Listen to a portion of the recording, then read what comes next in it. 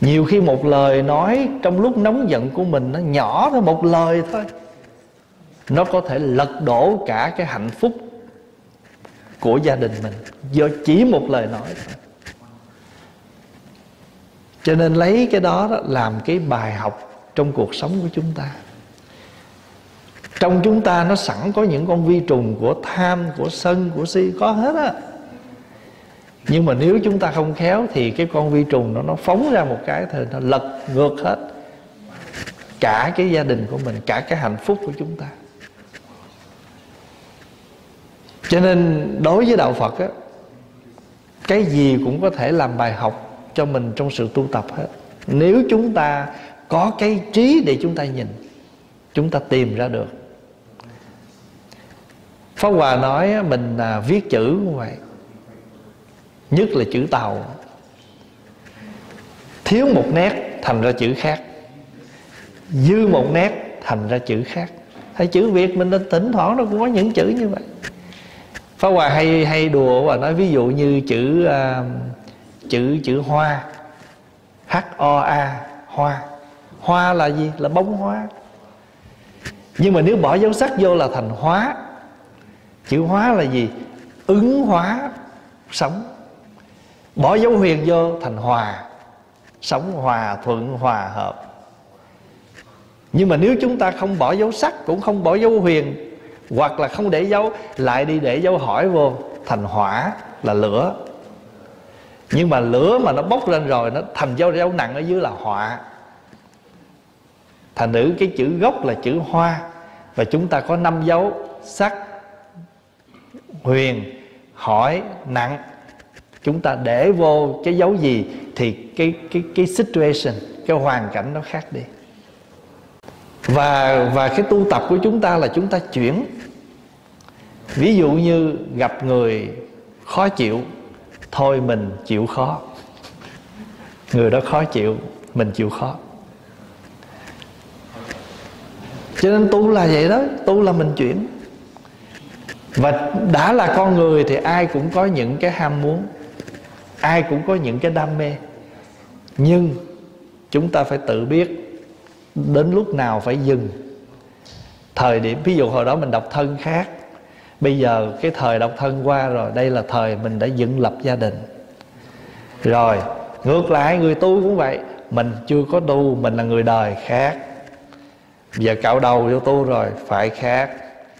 Rồi người mới tu, khác.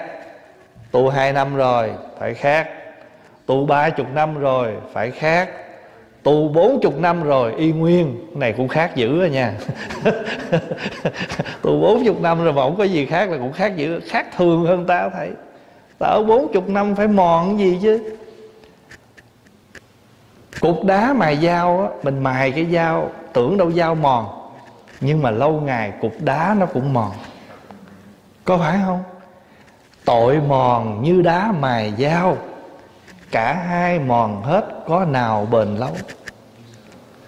Mình tưởng đâu mình mài cái dao cái dao nó chỉ mòn cái dao. Không ngờ, với cái sự mò, bào riết, cục đá cũng phải mòn. Mình tu cũng phải vậy. Cho nên trong cái bài sám từ vân có cái câu là tội mòn như đá mài dao, phước lành thêm lớn, càng cao càng dày.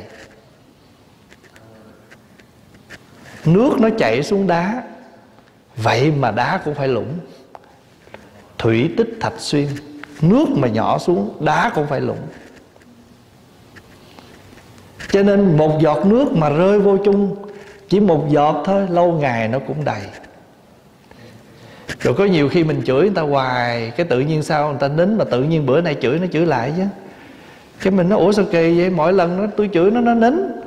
Hỏi pháp hoài vậy quá nó ờ à, thì tại bữa nay là giọt nước tràn nó đầy rồi, mà phải dựng nó là yên rồi. Anh thêm giọt được, nó tràn ra. Có phải không? Mình đựng cái ly này đầy rồi, phải không? Để yên đi, không sao hết á. Mà lấy một cục kẹo thả vô, nước nó phải ra thôi. Hay là lấy miếng nước nhỏ vô. Cho nên bữa nào bị người ta nói theo đời chút ha, bị người ta bụp lại.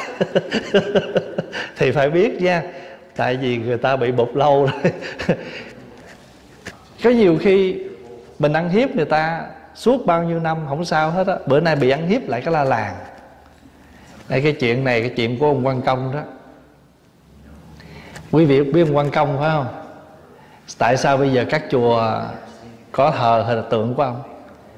Là tại vì khi ông bị chặt đầu ông đi cái quan hồn của ông đi tìm những người thù trả thù. Thì trong lúc đó có hòa thượng bảo chí ngài ngồi thiền ngài thấy cái hồn quan của ông quan công đi tìm người ta chặt đầu. Ngài hỏi ông đi đâu? Nó tôi đi tìm cái kẻ thù mà chặt cái đầu tôi. Tôi chém lại đó hòa thượng hỏi, khi ông còn làm ông tướng, ông chặt bao nhiêu đầu? Ông nói, vô số, kể ông hết. Hòa thượng mới nói, ông chặt vô số đầu, bữa nay ta chặt có một cái đầu của ông. Có cái gì mà phải đi kiếm? Nếu so ra, ông chặt hàng ngàn cái đầu bữa nay ông mất có một cái đầu mà. Ông nghe khai thị tới chỗ đó, tỉnh. Ông tỉnh mà bây giờ ông là một cái quan hồn mà. Thì hòa thượng mới nói, thôi được, bây giờ tôi sẽ làm lễ gửi ông vô chùa. Cho nên ngài mới cho làm cái tượng của ông, gửi vô chùa cho ấn chứng cho ông trở thành một trong những vị hộ pháp của chùa vì vậy mà ngày nay các chùa người hoa đó, chùa nào cũng có tượng hồ ông ông ông ông quan công tượng trưng cho già lam. Già lam là gì? Già lam là chùa. Ông bây giờ là người bảo hộ cho chùa chiền cho nên gọi ông là bên này là thờ hộ pháp bên này là già lam là những vị hộ vệ cho chùa bảo vệ cho phật pháp. Đa số các chùa hoa để hai cái tượng ông quan công cầm râu vậy ông kia hộ pháp. Chúng ta thường gọi cái bộ đó là hộ pháp già lam còn những chùa nào mà có đất rộng rãi nữa đó ta làm một cái điện riêng ta để là già lam điện điện thờ ông quan công đó. Thì ở đây cũng vậy. Cho nên á đôi khi á, mình cứ mình cứ vui trên chiến thắng nhưng mà có một lúc nào đó rồi thì mình bị hớ đi. Thôi thì hôm nay mình học thêm một câu kinh pháp cú ha. Biết rõ sai biệt ấy, người trí không phóng vật, hoan hỷ không phóng vật, an vui hạnh bậc thánh. Cuộc đời này, vui buồn nó chỉ ở hai chữ thôi, tỉnh và mê. Nói theo phật giáo là mê và giác. Người mê thì mãi sống khổ, người tỉnh liền hết khổ giống như mình ở trong cơn mộng mình la mình hét mình bị người ta đuổi ruột. Giật mình dậy hết mộng rồi. Tất cả cái cảnh gì ở tối chúng ta thấy nó không còn. Phải vậy không? Cho nên tỉnh với mê vậy thôi. Mình mê là ở trong mộng mà tỉnh rồi thì à, tất cả chỉ là mộng. Bây giờ quý vị thấy cuộc đời mình giống như một cơn đại mộng không? Cái giấc ngủ của mình ở buổi tối mình chim bao là tiểu mộng. Cuộc đời mình là một đại mộng. Từng có tiền nè, rồi từng sạch túi nè không? Từng có gì, từng mất gì. Đến giờ phút này, ngoảnh nhìn lại, cuộc đời như giấc mộng được mất bại thành bỗng chốc quá hư không. Nhìn lại. Và khi chúng ta nhìn lại, chúng ta có tỉnh ờ thôi cuộc đời mình sống tới giờ ở gì cũng có, rốt cuộc không có gì. Phải không? Cái gì cũng có, rốt cuộc không có cái gì. Cho nên cái gì cũng biết, rốt cuộc không biết gì.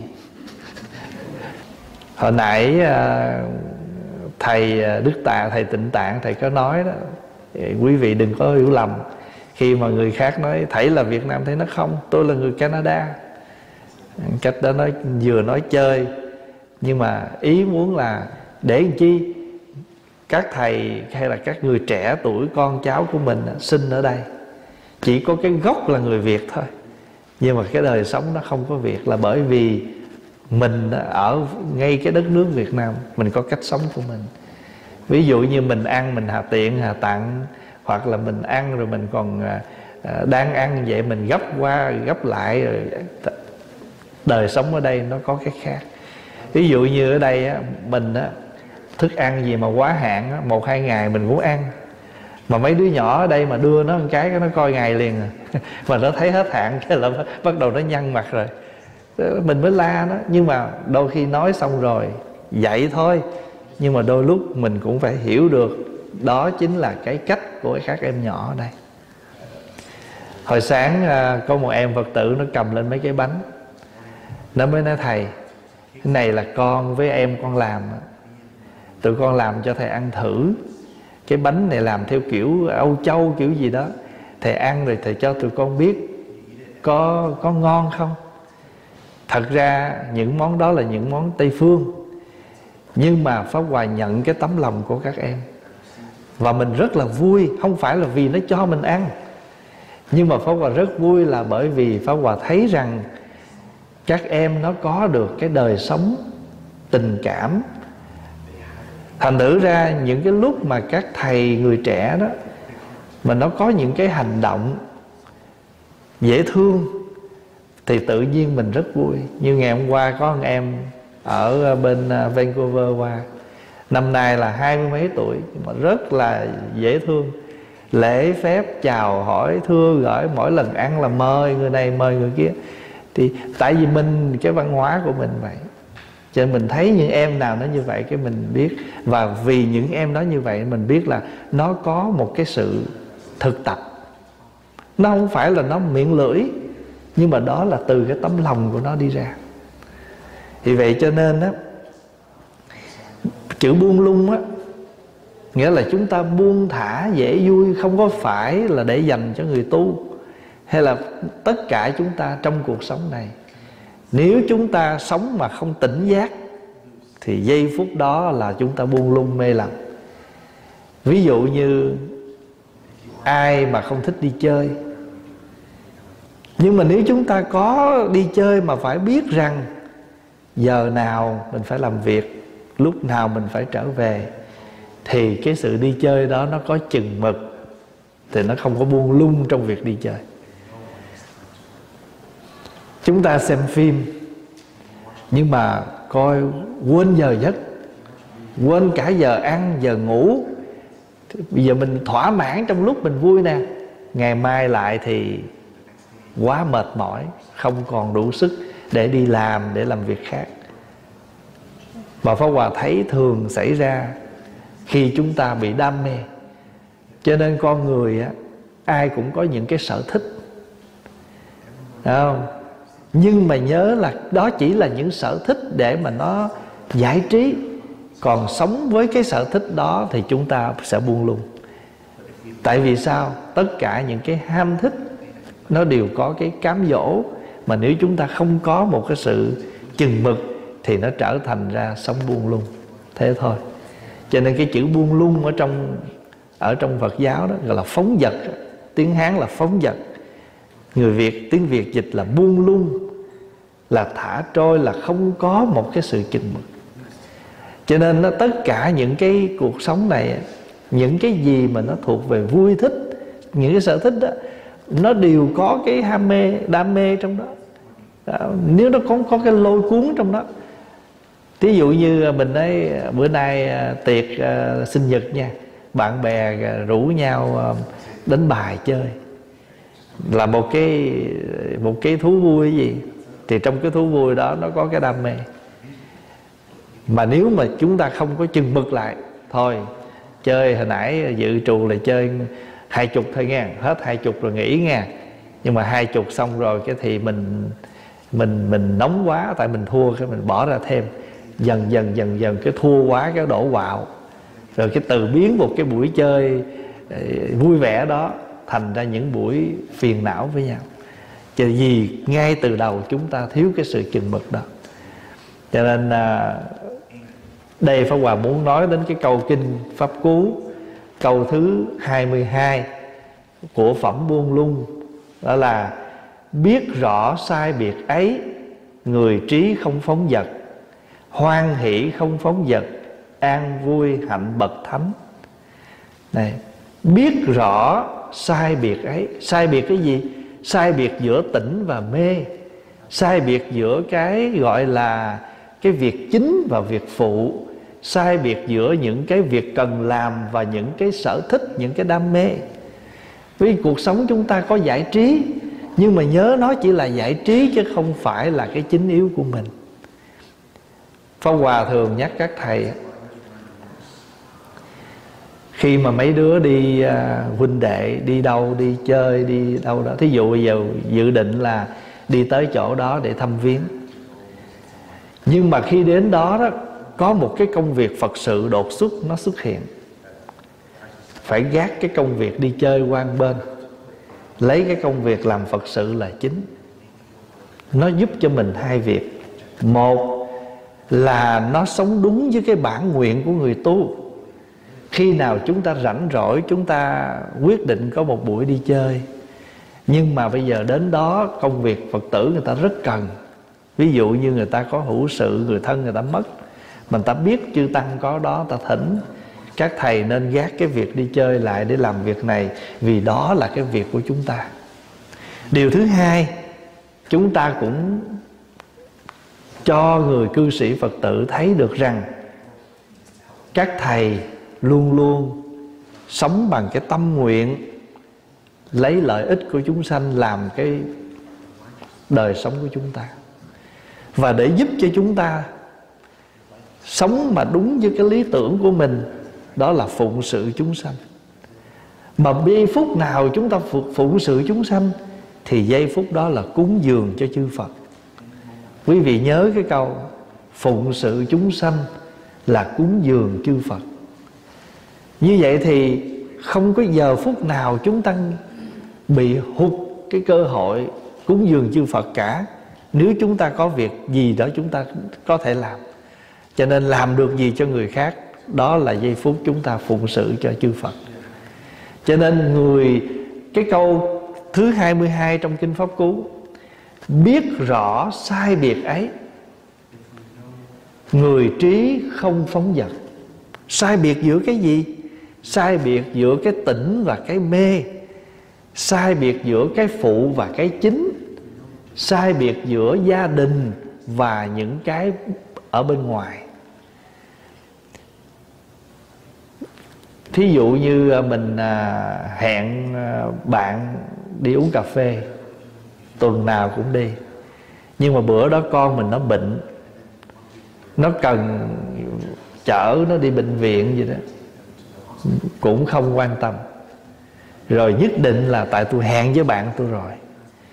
Nếu mà tôi không đi như vậy, bạn tôi buồn, tôi, bạn trách thí dụ vậy, thì mình rõ ràng mình phải thấy rằng giữa một cái gia đình của mình với cái bữa cà phê của mình, cái bữa cà phê nó phải phụ chứ. Rồi thí dụ lỡ mà mình, do mình đi chơi. Để pháp hòa kể đây, chúng nghe, pháp hòa có một gia đình. Đứa con nó bị sốt. Mà ông chồng uống say, xỉn, không có đưa nó đi kịp. Cuối cùng đứa nhỏ bị sốt quá, tê liệt, giờ thành một cái người handicap. Rồi bây giờ là vợ chồng cứ mỗi lần mà mà mà mà mà chăm sóc đứa nhỏ thì đều khơi dậy. Rồi trách móc, rồi buồn phiền. Phải không? Thành tử ra biết rõ sai việc ấy, người trí không phóng dật người trí là cái người nhận định. Còn chúng ta không sống theo cái thức của mình.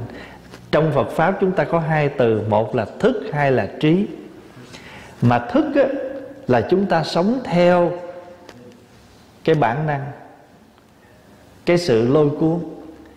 Trí là chúng ta nhận định và chúng ta dừng.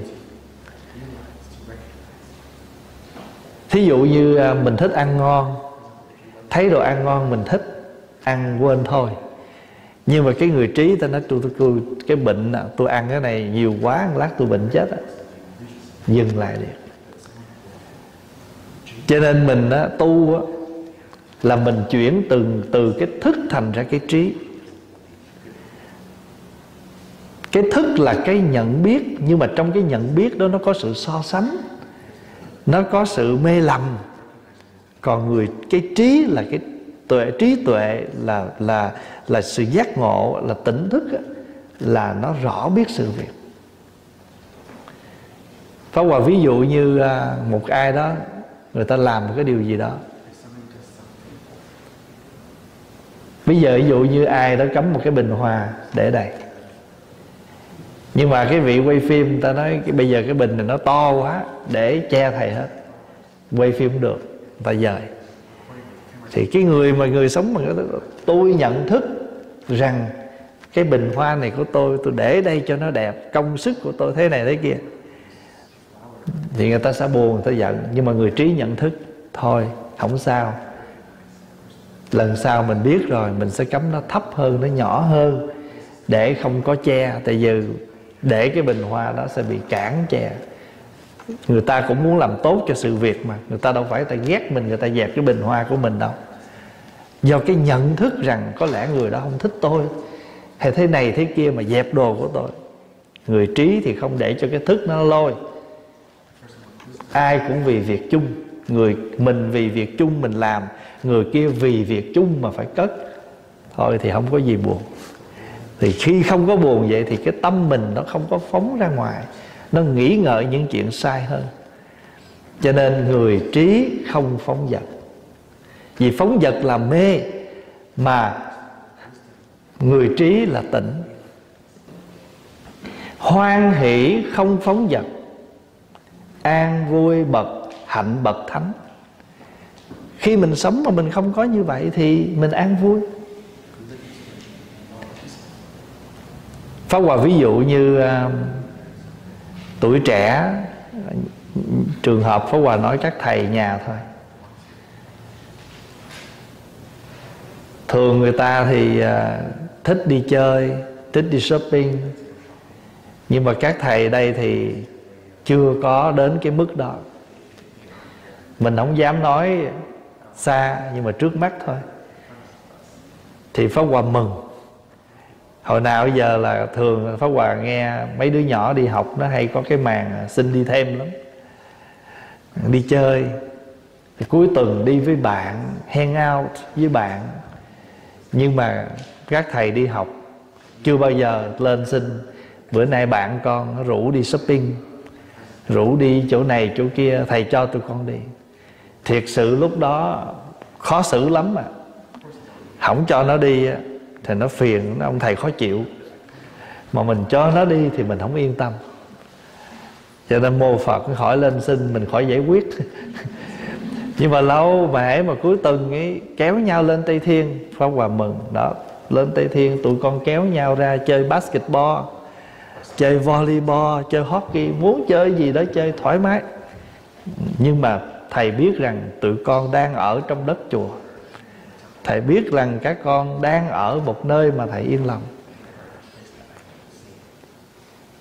Cho nên nhiều khi các thầy rủ nhau lên, thầy thầy, cuối tuần này, bữa nay chủ nhật tối, thầy cho tụi con chơi hockey. Được, cứ chơi. Thứ nhất là thể thao. Pháp hòa thường khuyến khích các thầy phải có thể thao. Thì chơi những cái môn thể thao mình thích. Nó xây dựng tình huynh đệ tiêu hao được cái năng lượng của tuổi trẻ có sức khỏe tốt mà mình biết rằng nó không có rời con mắt mình mình vẫn để ý nó được. Đó, cho nên hoan hỷ không phóng vật tức là khi mình làm được cái việc gì rồi đó mình mặc dù lúc đó mình khó chịu thiệt nhưng mà sau một cái cơn đó rồi mình bình an thì mình nói sao? Hoan hỷ quá tôi qua được một cái cơn cám dỗ hoan hỷ không phóng vật. An vui hạnh bậc thánh. Bậc thánh là gì? Là người tỉnh ngộ. An vui với cái hạnh đó, mặc dù nó hơi cực đó. Có cái tu nào mà không cực đâu.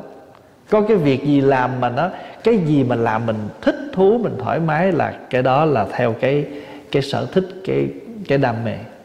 Nhưng mà cái gì mà mình phải ngăn chặn, mình phải chịu đựng à, ví dụ như ham đi chơi bắt không cho đi. Đó, khó lắm. Nhưng mà qua được cái cơn nó mừng nó trời. Có nhiều khi mình không đi tới cái buổi đó mà ngay cái bữa đó là nó có một cái tai nạn cái biến cố nó xảy ra. Nó may tự nhiên sau bữa đó ba tôi cũng cho đi. Tôi ở nhà tôi bực bội lắm chứ. Nhưng mà bữa nay cảm ơn tại giờ không cho đi tôi tránh được cái tai nạn đó. Ví dụ vậy cho nên á, cái câu kinh này, để muốn nói lên gì? Nói lên cái niềm vui của người đã vượt thắng được những cái những cái ái dục, những cái ham mê, những cái đắm đắm chìm. Con mắt mình á, nó cũng có những cái đam mê của nó. Lỗ tai của mình nó cũng có những cái đam mê của nó. Phải không? Nhưng mà mình biết dừng kịp thì khi mà nó qua được cái cơn đó, cái tự nhiên mình có an vui. Mà đức phật gọi trong kinh là gì? Hoan hỷ tự vui. Mình có giận không? Có.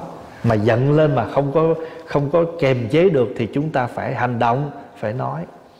Nhưng mà lúc nào mình kềm chế được cơn giận, mình qua cơn giận rồi vui lắm. Hồi nãy giận quá, định xuống nói đó, mà biết nói xong rồi là sẽ có chuyện đó nhưng mà thôi qua được cái cơn này mừng. Đôi lúc mình lỡ một câu thôi mình biết không có hơn chỉ một câu thôi mà tự nhiên cũng trách mình dở. Phải chi nín luôn cái câu đó hồi nãy là yên chuyện rồi. Mình nói chi có một câu nhưng mà rồi sự việc nó lại tệ hơn. Hôm rồi đi uh, đi tắm tang thì lên ngồi chung với ông tài xế nhà hoàng á. À, ông mới nói à, trời ơi mới đây mà à, cái nạn dịch đã 7 tháng rồi. Pháp Hòa mới nói đúng rồi Thời gian rất là mau. Mà chưa bao giờ Mà cả thế giới mà lật ngược lại hết phải không?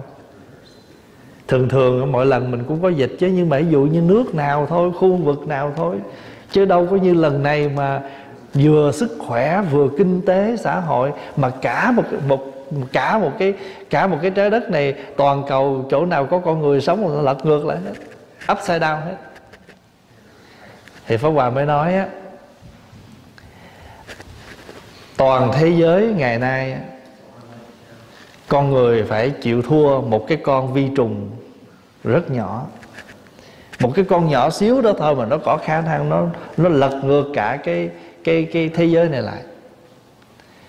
Thì pháp hòa mới nói á, cũng như vậy nhiều khi một lời nói trong lúc nóng giận của mình nó nhỏ thôi một lời thôi. Nó có thể lật đổ cả cái hạnh phúc của gia đình mình do chỉ một lời nói thôi. Cho nên lấy cái đó, đó làm cái bài học trong cuộc sống của chúng ta. Trong chúng ta nó sẵn có những con vi trùng của tham của sân của si có hết á nhưng mà nếu chúng ta không khéo thì cái con vi trùng nó nó phóng ra một cái thì nó lật ngược hết cả cái gia đình của mình, cả cái hạnh phúc của chúng ta. Cho nên đối với đạo phật á, cái gì cũng có thể làm bài học cho mình trong sự tu tập hết. Nếu chúng ta có cái trí để chúng ta nhìn, chúng ta tìm ra được. Pháp Hòa nói mình à, viết chữ như vậy. Nhất là chữ tàu. Thiếu một nét thành ra chữ khác. Dư một nét thành ra chữ khác. Hay chữ Việt mình tỉnh thoảng nó cũng có những chữ như vậy. Phá Hòa hay hay đùa và nói ví dụ như chữ uh, chữ chữ hoa. H O A hoa. Hoa là gì? Là bông hoa. Nhưng mà nếu bỏ dấu sắc vô là thành hóa. Chữ hóa là gì? Ứng hóa sống. Bỏ dấu huyền vô thành hòa. Sống hòa, thuận hòa, hợp. Nhưng mà nếu chúng ta không bỏ dấu sắc, Cũng không bỏ dấu huyền, Hoặc là không để dấu, Lại đi để dấu hỏi vô, Thành hỏa là lửa. Nhưng mà lửa mà nó bốc lên rồi, Nó thành dấu dấu nặng ở dưới là họa Thành nữ cái chữ gốc là chữ hoa, Và chúng ta có năm dấu Sắc, Huyền, Hỏi, Nặng chúng ta để vô cái dấu gì thì cái cái cái situation, cái hoàn cảnh nó khác đi. Và và cái tu tập của chúng ta là chúng ta chuyển. Ví dụ như gặp người khó chịu, thôi mình chịu khó. Người đó khó chịu, mình chịu khó. Cho nên tu là vậy đó, tu là mình chuyển. Và đã là con người thì ai cũng có những cái ham muốn ai cũng có những cái đam mê. Nhưng chúng ta phải tự biết đến lúc nào phải dừng. Thời điểm, ví dụ hồi đó mình độc thân khác, bây giờ cái thời độc thân qua rồi, đây là thời mình đã dựng lập gia đình. Rồi, ngược lại, người tu cũng vậy. Mình chưa có tu, mình là người đời khác. Giờ cạo đầu vô tu rồi, phải khác. Rồi người mới tu, khác. Tu hai năm rồi, phải khác tu ba chục năm rồi, phải khác. Tu bốn chục năm rồi, y nguyên. Này cũng khác dữ rồi nha. Tu bốn chục năm rồi mà không có gì khác là cũng khác dữ, khác thường hơn ta thấy. Ta ở bốn chục năm phải mòn cái gì chứ? Cục đá mài dao á, mình mài cái dao, tưởng đâu dao mòn. Nhưng mà lâu ngày cục đá nó cũng mòn. Có phải không? Tội mòn như đá mài dao cả hai mòn hết, có nào bền lâu? Mình tưởng đâu mình mài cái dao cái dao nó chỉ mòn cái dao. Không ngờ, với cái sự mò, bào riết, cục đá cũng phải mòn. Mình tu cũng phải vậy. Cho nên trong cái bài sám từ vân có cái câu là tội mòn như đá mài dao, phước lành thêm lớn, càng cao càng dày. Nước nó chảy xuống đá vậy mà đá cũng phải lũng thủy tích thạch xuyên nước mà nhỏ xuống đá cũng phải lũng cho nên một giọt nước mà rơi vô chung chỉ một giọt thôi lâu ngày nó cũng đầy. Rồi có nhiều khi mình chửi người ta hoài cái tự nhiên sao người ta nín mà tự nhiên bữa nay chửi nó chửi lại chứ. Cái mình nó ủa sao kỳ vậy? Mỗi lần nó tôi chửi nó nó nín. Hỏi pháp hoài vậy quá nó ờ à, thì tại bữa nay là giọt nước tràn nó đầy rồi, mà phải dựng nó là yên rồi. Anh thêm giọt được, nó tràn ra. Có phải không? Mình đựng cái ly này đầy rồi, phải không? Để yên đi, không sao hết á. Mà lấy một cục kẹo thả vô, nước nó phải ra thôi. Hay là lấy miếng nước nhỏ vô. Cho nên bữa nào bị người ta nói theo đời chút ha, bị người ta bụp lại. Thì phải biết nha, tại vì người ta bị bụp lâu rồi. Có nhiều khi mình ăn hiếp người ta suốt bao nhiêu năm, không sao hết á. Bữa nay bị ăn hiếp lại cái la làng. Đây, cái chuyện này, cái chuyện của ông quan công đó. Quý vị biết ông quan công phải không? Tại sao bây giờ các chùa có thờ hay là tượng của ông? Là tại vì khi ông bị chặt đầu, ông đi, cái quan hồn của ông đi tìm những người thù trả thù. Thì trong lúc đó có hòa thượng bảo chí ngài ngồi thiền, ngài thấy cái hồn oan của ông quan công đi tìm người ta chặt đầu. Ngài hỏi ông đi đâu? Nó tôi đi tìm cái kẻ thù mà chặt cái đầu tôi. Tôi chém lại nó. Hòa thượng hỏi, khi ông còn làm ông tướng, ông chặt bao nhiêu đầu? Ông nói, vô số, kể ông hết. Hòa thượng mới nói, ông chặt vô số đầu, bữa nay ta chặt có một cái đầu của ông. Có cái gì mà phải đi kiếm? Nếu so ra ông chặt hàng ngàn cái đầu. Bữa nay ông mất có một cái đầu mà. Ông nghe khai thị tới chỗ đó. Tỉnh. Ông tỉnh mà bây giờ ông là một cái quan hồn mà.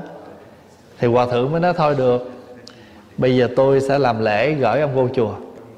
Cho nên ngài mới cho làm cái tượng của ông gửi vô chùa cho ấn chứng cho ông trở thành một trong những vị hộ pháp của chùa vì vậy mà ngày nay các chùa người hoa đó, chùa nào cũng có tượng hồ ông ông ông ông quan công tượng trưng cho già lam. Già lam là gì? Già lam là chùa. Ông bây giờ là người bảo hộ cho chùa chiền cho nên gọi ông là bên này là thờ hộ pháp bên này là già lam là những vị hộ vệ cho chùa bảo vệ cho phật pháp. Đa số các chùa hoa để hai cái tượng ông quan công cầm râu vậy ông kia hộ pháp chúng ta thường gọi cái bộ đó là hộ pháp già lam còn những chùa nào mà có đất rộng rãi nữa đó ta làm một cái điện riêng ta để là già lam điện điện thờ quan công đó. Thì ở đây cũng vậy. Cho nên á đôi khi á, mình cứ mình cứ vui trên chiến thắng nhưng mà có một lúc nào đó rồi thì mình bị hớ đi. Thôi thì hôm nay mình học thêm một câu kinh pháp cú ha. Biết rõ sai biệt ấy người trí không phóng vật, hoan hỷ không phóng vật, an vui hạnh bậc thánh. Cuộc đời này, vui buồn nó chỉ ở hai chữ thôi, tỉnh và mê. Nói theo phật giáo là mê và giác. Người mê thì mãi sống khổ, người tỉnh liền hết khổ. Giống như mình ở trong cơn mộng, mình la, mình hét, mình bị người ta đuổi ruột, giật mình dậy, hết mộng rồi tất cả cái cảnh gì ở tối chúng ta thấy nó không còn. Phải vậy không? Ừ. Cho nên tỉnh với mê vậy thôi. Mình mê là ở trong mộng mà tỉnh rồi thì à, tất cả chỉ là mộng. Bây giờ quý vị thấy cuộc đời mình giống như một cơn đại mộng không? Cái giấc ngủ của mình ở buổi tối mình chim bao là tiểu mộng. Cuộc đời mình là một đại mộng. Từng có tiền nè rồi từng sạch túi nè. Không? Từng có gì, từng mất gì. Đến giờ phút này, ngoảnh nhìn lại, cuộc đời với giấc mộng được mất bại thành bỗng chốc quá hư không. Nhìn lại. Và khi chúng ta nhìn lại, chúng ta có tỉnh ờ thôi, cuộc đời mình sống tới giờ ở gì cũng có, rốt cuộc không có gì. Phải không? Cái gì cũng có, rốt cuộc không có cái gì cho nên cái gì cũng biết rốt cuộc không biết gì. Nếu mà mình thấy rằng mình không cần thiết phải để tâm tới cái lỗi của họ để mà mình an lạc mình thảnh thơi đừng quan tâm. Tại nhiều khi cuộc sống mà mình cứ quan tâm người này người kia nhiều quá mình cũng phiền lắm. À, mà nó có hai loại quan tâm mình quan tâm một cách à, thiện lành tức là mình chỉ muốn nâng đỡ mà một có một quan tâm là mình bực quá. Mình bực quá cho nên lúc nào mình để ý người đó để mình chỉ trích. Cái đó thì mình sẽ phiền não mà người đó cũng sẽ phiền não. Vì không cần thấy lỗi người. Rồi bây giờ tới đó là mặc dù thấy lỗi người nhưng tâm không ăn năn. À, hôm trước có có giải thích cái chỗ tâm không ăn năn. Không ăn năn có nghĩa là mình thấy cái lỗi của họ mình chỉ dẫn rồi nhưng mà người ta vẫn không thay đổi thì thì sao? Mình đành chịu tại vì mình đã làm hết hết mức của mình rồi. Mà ở đời có người như vậy không? Rồi có những người mà mình mình đem lòng mình nhắc nhở đủ thứ hết rồi nhưng mà không có thay đổi gì hết. Thì mình cũng không có gì phải phiền muộn nữa tại vì mình đã làm tận lực của mình. Cho nên cái chỗ này á, lúc này mình mới gọi là tùy duyên nè. Chứ không thể nào ta chưa có làm gì hết gặp người ta vậy thôi tùy duyên đi là không được là có nhiều người ta không hiểu đó người ta hay dùng cái chữ tùy duyên một cách uh, uh, bất cứ lúc nào. Chuyện gì cũng tùy duyên hết rồi cái người ta riết người ta nói đạo phật ba phải lắm. Chuyện gì cũng tùy duyên hết không phải vậy đâu. Chữ tùy trước khi mình tùy duyên mình phải làm gì? Mình phải tạo duyên. Mình phải tích duyên. Mình phải làm tất cả các cái duyên nhưng mà cuối cùng không được thì đành chịu.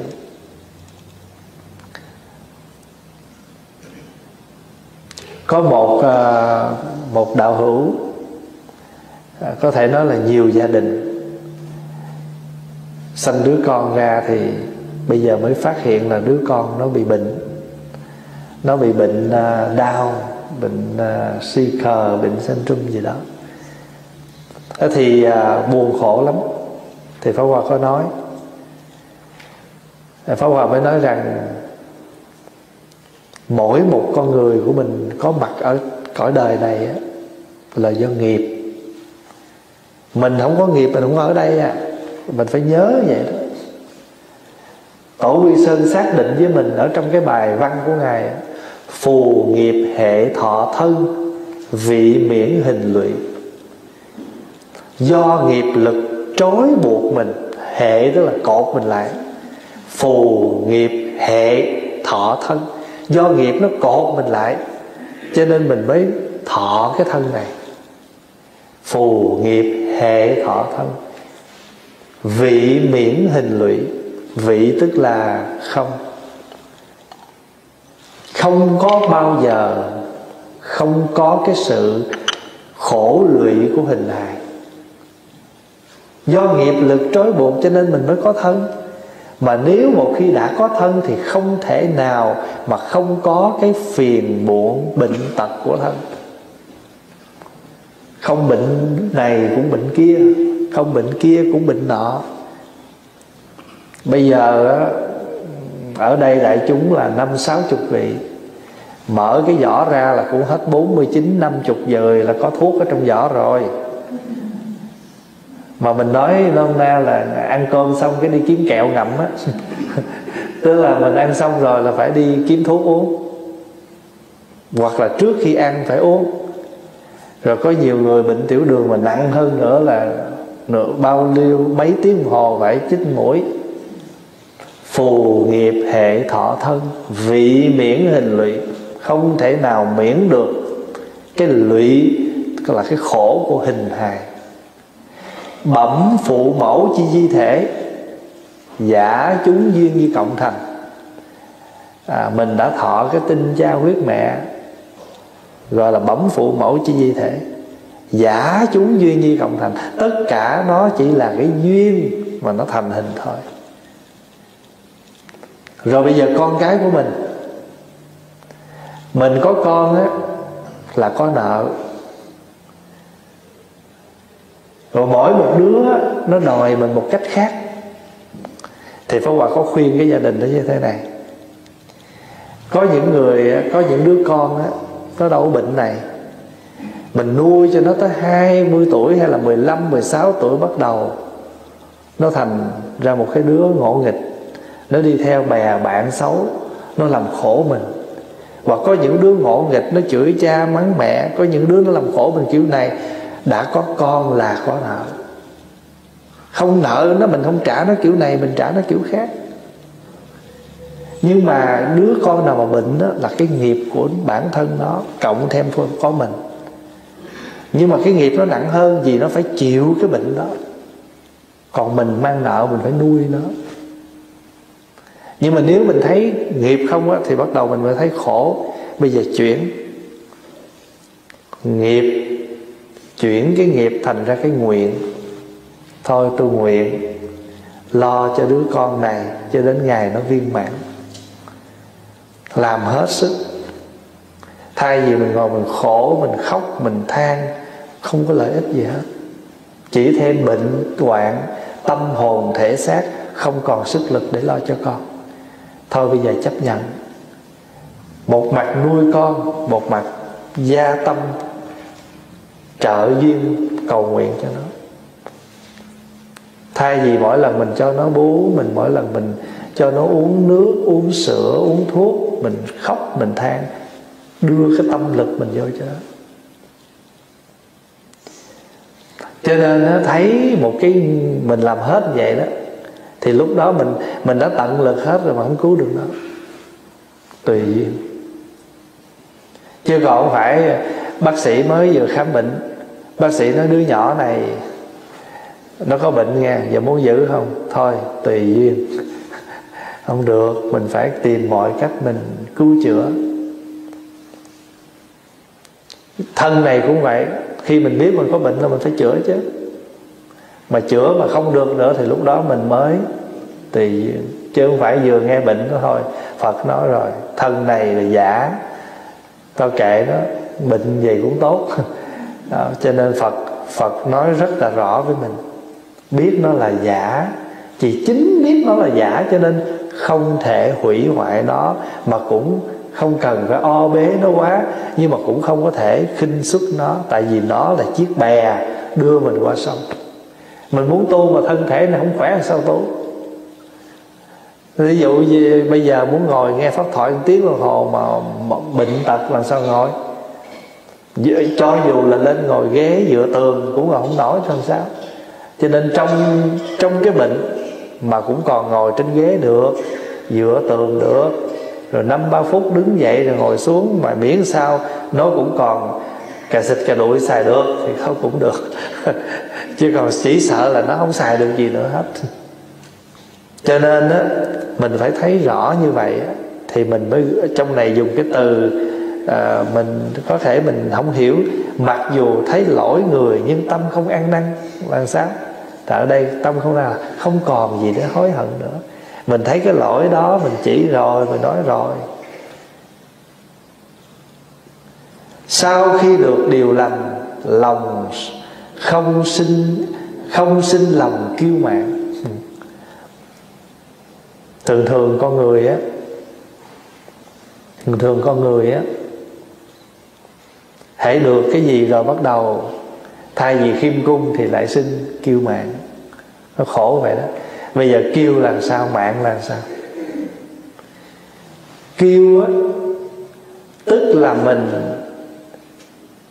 bằng lòng hãnh diện với những gì mình đang tạo. Có, nhưng mà nhớ cái này là có tạm thôi nha. Mà mình cứ tưởng thiệt không à? Ví dụ ha, ví dụ như bây giờ Pháp Hòa đi à, đi à, ứng cử Pháp Hòa được ta bầu lên làm uh, uh, thị trưởng. Nhưng mà nếu mà thị trưởng mà làm mà mà không khéo á thì người ta cũng có thể người ta biểu tình hay là người ta vote người ta cho mình xuống sớm hơn cái nhiệm kỳ nữa là khác á. Hoặc là ta hết nhiệm kỳ đó người ta không bầu nữa. Vậy thì cái chức mà chúng ta đang có đó hiện tại chúng ta đang có nhưng mà thiệt sự nó có có thiệt mình mãi mãi ở địa vị đó không? Không.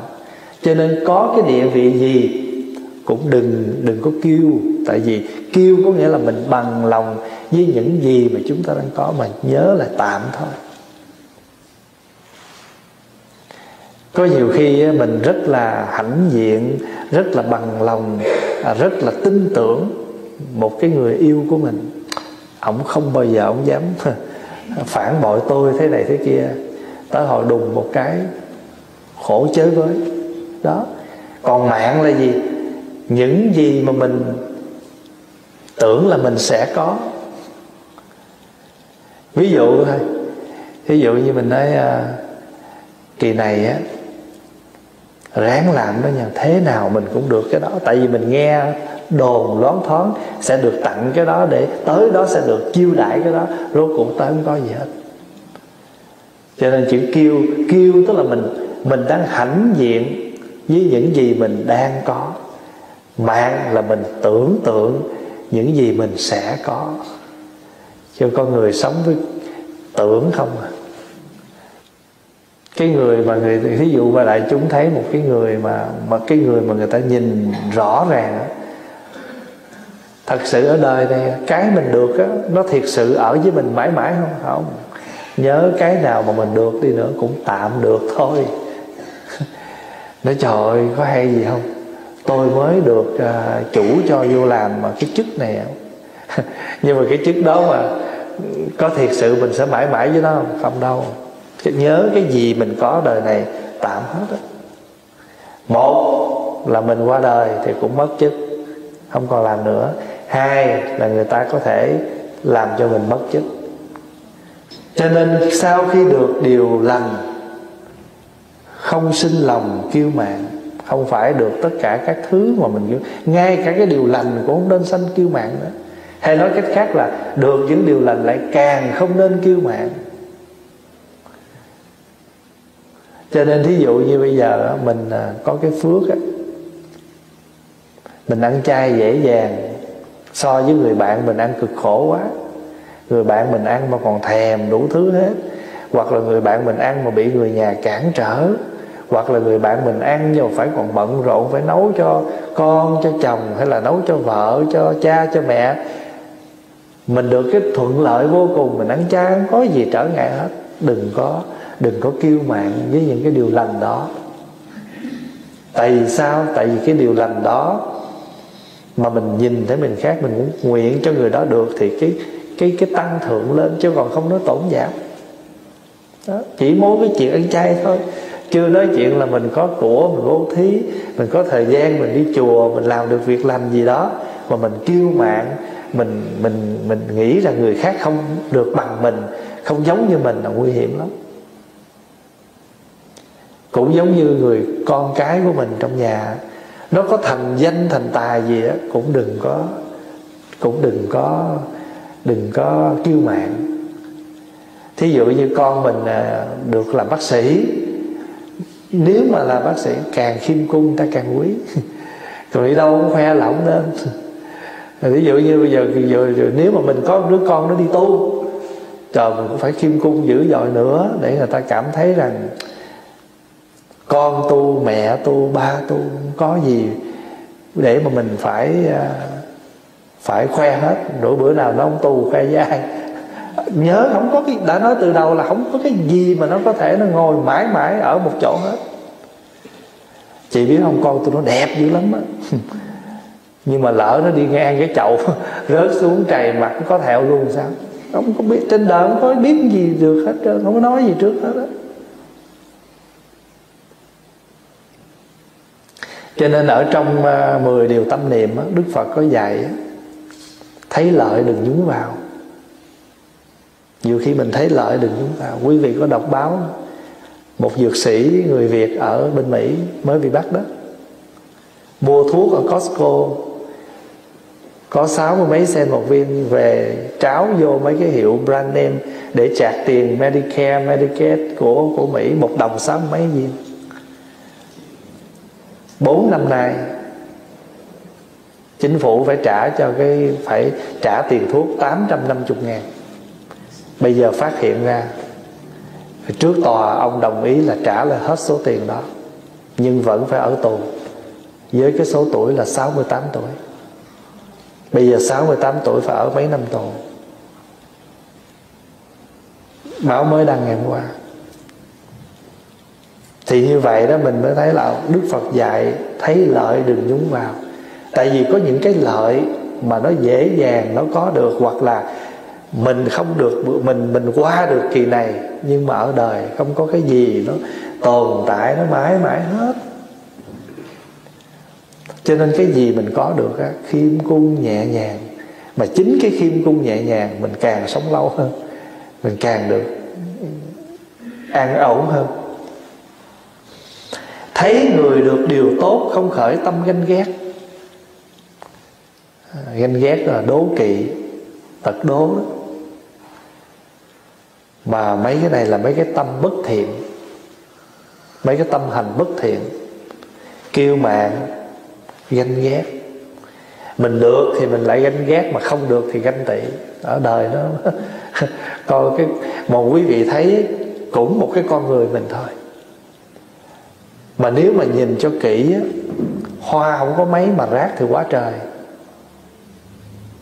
tham nè, sân nè, si nè, mạng nè, nghi nè, tà kiến nè, biên kiến nè, giới cấm thủ nè, rồi ganh nè, ghét nè, rồi tị hiềm nè, kiêu mạng. Trời ơi, nó nằm hết ở trong con người của mình. Thật ra nếu mà nhìn cho kỹ thì hoa thì không bao nhiêu cái, Mà rác thì thôi um sùm. Vậy mà mình lại tưởng đâu, Mình là một đóa hoa giữa giữa vườn hoa. Đi đâu mình cũng xòe, Đi đâu mình cũng cũng múa hết á. Nhưng mà dí người ta nhìn thấy, trời ơi, hoa héo mà cứ múa hoài. Nguy hiểm, Thấy không? Thấy người được điều tốt không khởi tâm ganh ghét. Quán sát tất cả chúng sanh tưởng như con một ở trong kinh có diễn tả như một đà, như một người, một một, như một cái cái con gà. Nó mở cánh ra, nó che chở cho cái đứa con duy nhất của nó. Quý vị nhớ trong cái kinh ờ, từ bi á, những ai muốn đạt tới hạnh phúc an lạc thường phải học hạnh thẳng thắn khiêm cung người ấy biết sử dụng ngôn ngữ từ ái. Người ấy không bao giờ làm những gì mà các bậc thức giả có thể chê cười. Và đây là điều mà họ luôn luôn tâm niệm. Nguyện cho đừng loài nào sát hại loài nào. Đừng ai vì hận thù, mong cho ai vì đau khổ và khốn đốn. Như một bà mẹ đang che chở cho đứa con duy nhất của mình. Chúng ta đem lòng từ bi mà đối xử với tất cả mọi người. Hãy quan sát tất cả chúng sanh tưởng như con một. Đây là cái tình yêu đại đồng, tình yêu bình đẳng. Có một câu người ta nói, tình yêu khác với tình bạn. Tình yêu có kẻ thứ ba thì bắt đầu có chuyện. Tình bạn càng nhiều càng tốt. tại vì bạn mà nhiều thì thêm vui, tình yêu mà chỉ cần thêm người thứ ba là bắt đầu sóng gió. Tại vì sao? Bởi vì chữ yêu á, nó nó âm, nó dịch từ cái chữ tiếng hán là ái. Mà chữ ái thì nó có hai phần. Một, mình là người thương, người yêu. Người, mình là người yêu người đó người đó là người yêu của mình, cho nên nó có đối tượng mình là năng yêu, người đó là sở yêu. Cho nên mình mới tụng cái bài năng lễ, sở lễ tánh không tịch đó. Mình lại phật là năng lễ, phật là người ngồi đó bị mình lại, phật là sở lễ. Trên cái câu là năng lễ là mình, sở lễ là phật. Làm sao để mình thấy mình với phật đồng một bản thể? Năng lễ, sở lễ, tánh không tịch cái chỗ, cái cái chỗ vắng lặng, cái tánh vắng lặng giữa mình với phật, bình an như vậy đó. Và cái chỗ đó cảm ứng đạo, giao, nan tư nghị bất khả tư nghị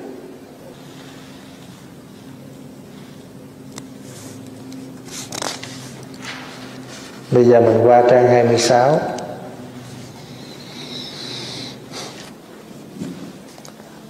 Này là Phật xác xác định thêm lần nữa. Thiện nam tử Người trí sau khi phát tâm Bồ Đề Có thể phá hư những quả báo của nghiệp dữ như núi Tu Di. À, Phật dùng cái chữ người trí nha.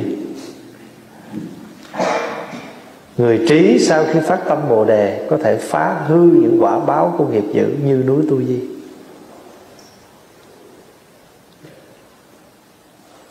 Tại vì có những người người ta phát tâm, Nhưng mà ta phát tâm theo sao chứ không? Phải do cái trí tuệ soi sáng mà phát tâm. A vua Thấy là làm làm.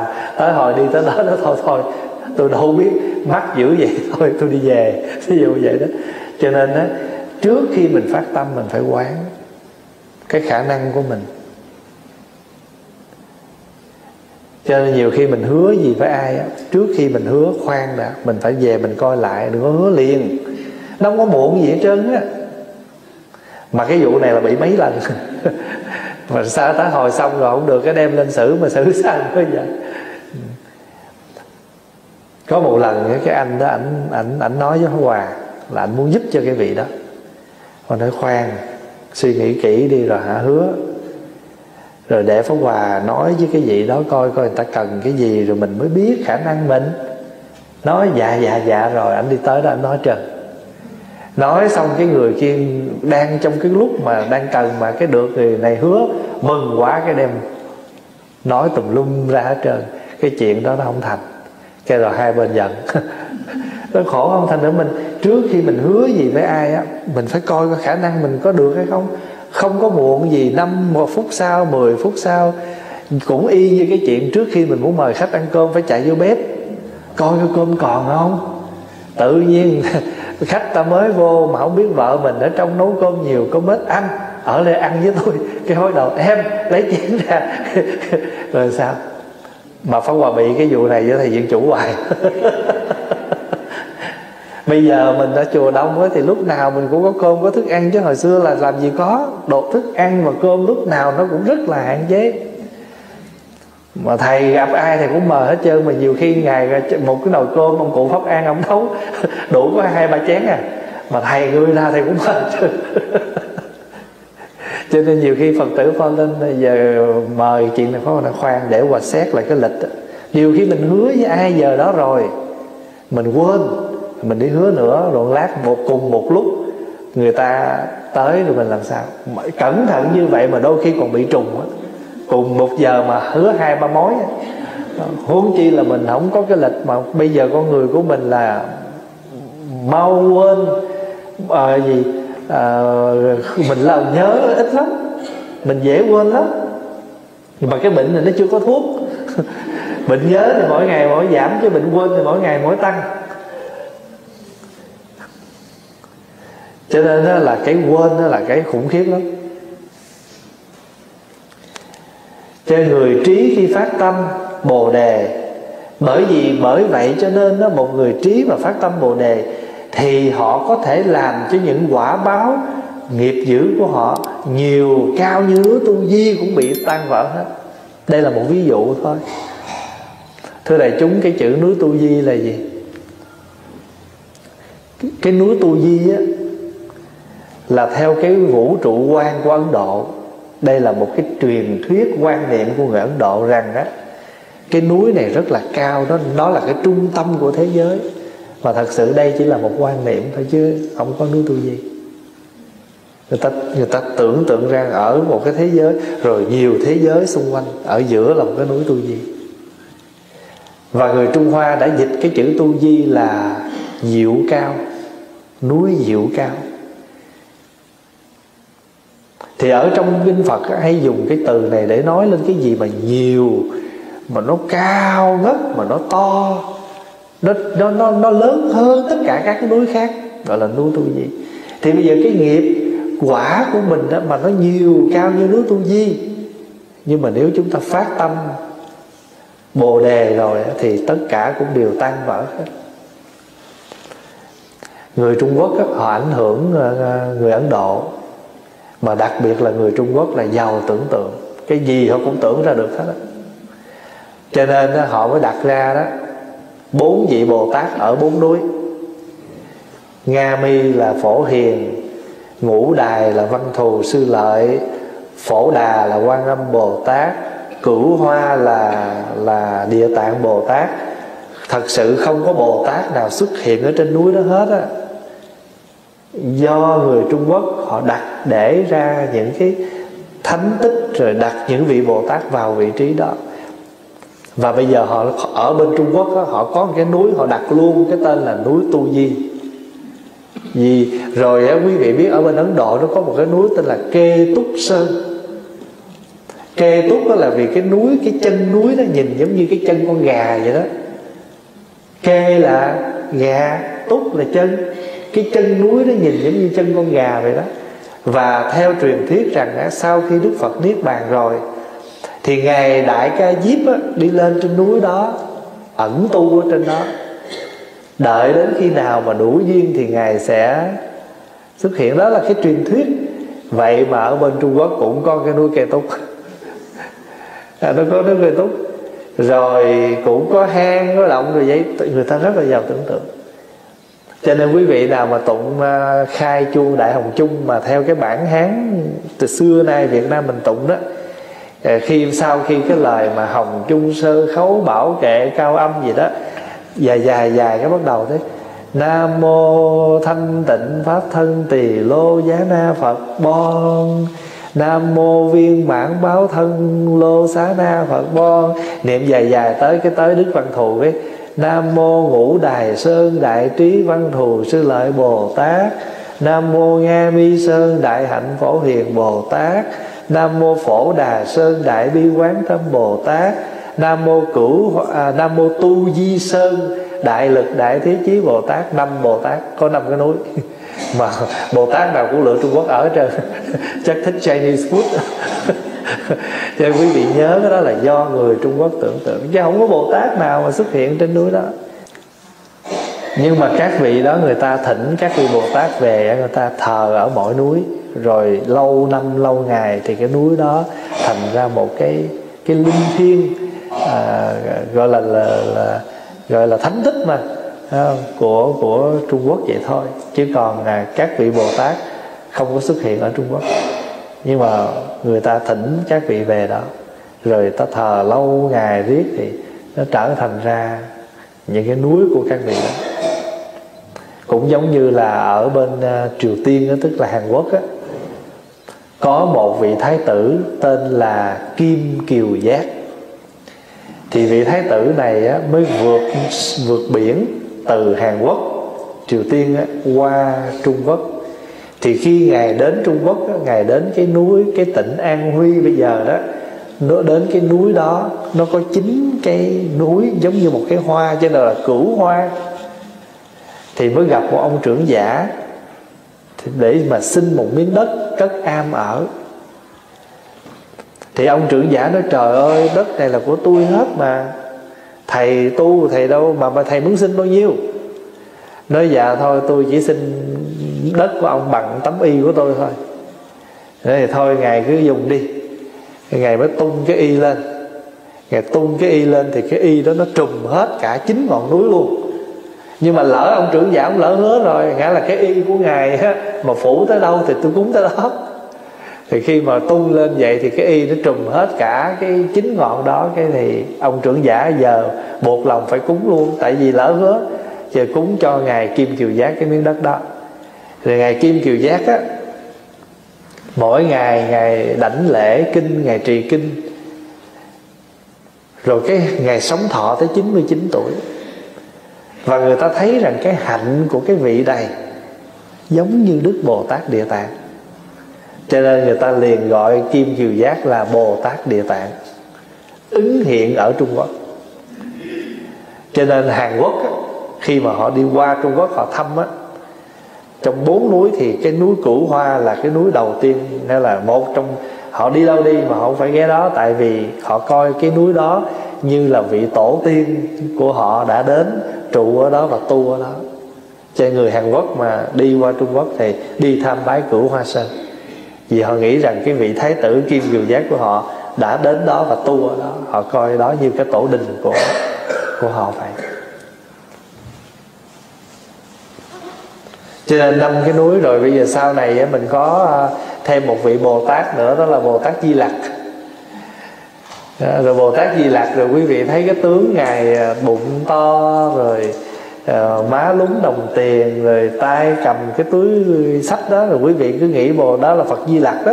Thật sự cái đó cũng không phải là hình tướng thật của phật di lặc nữa. Do một vị hòa thượng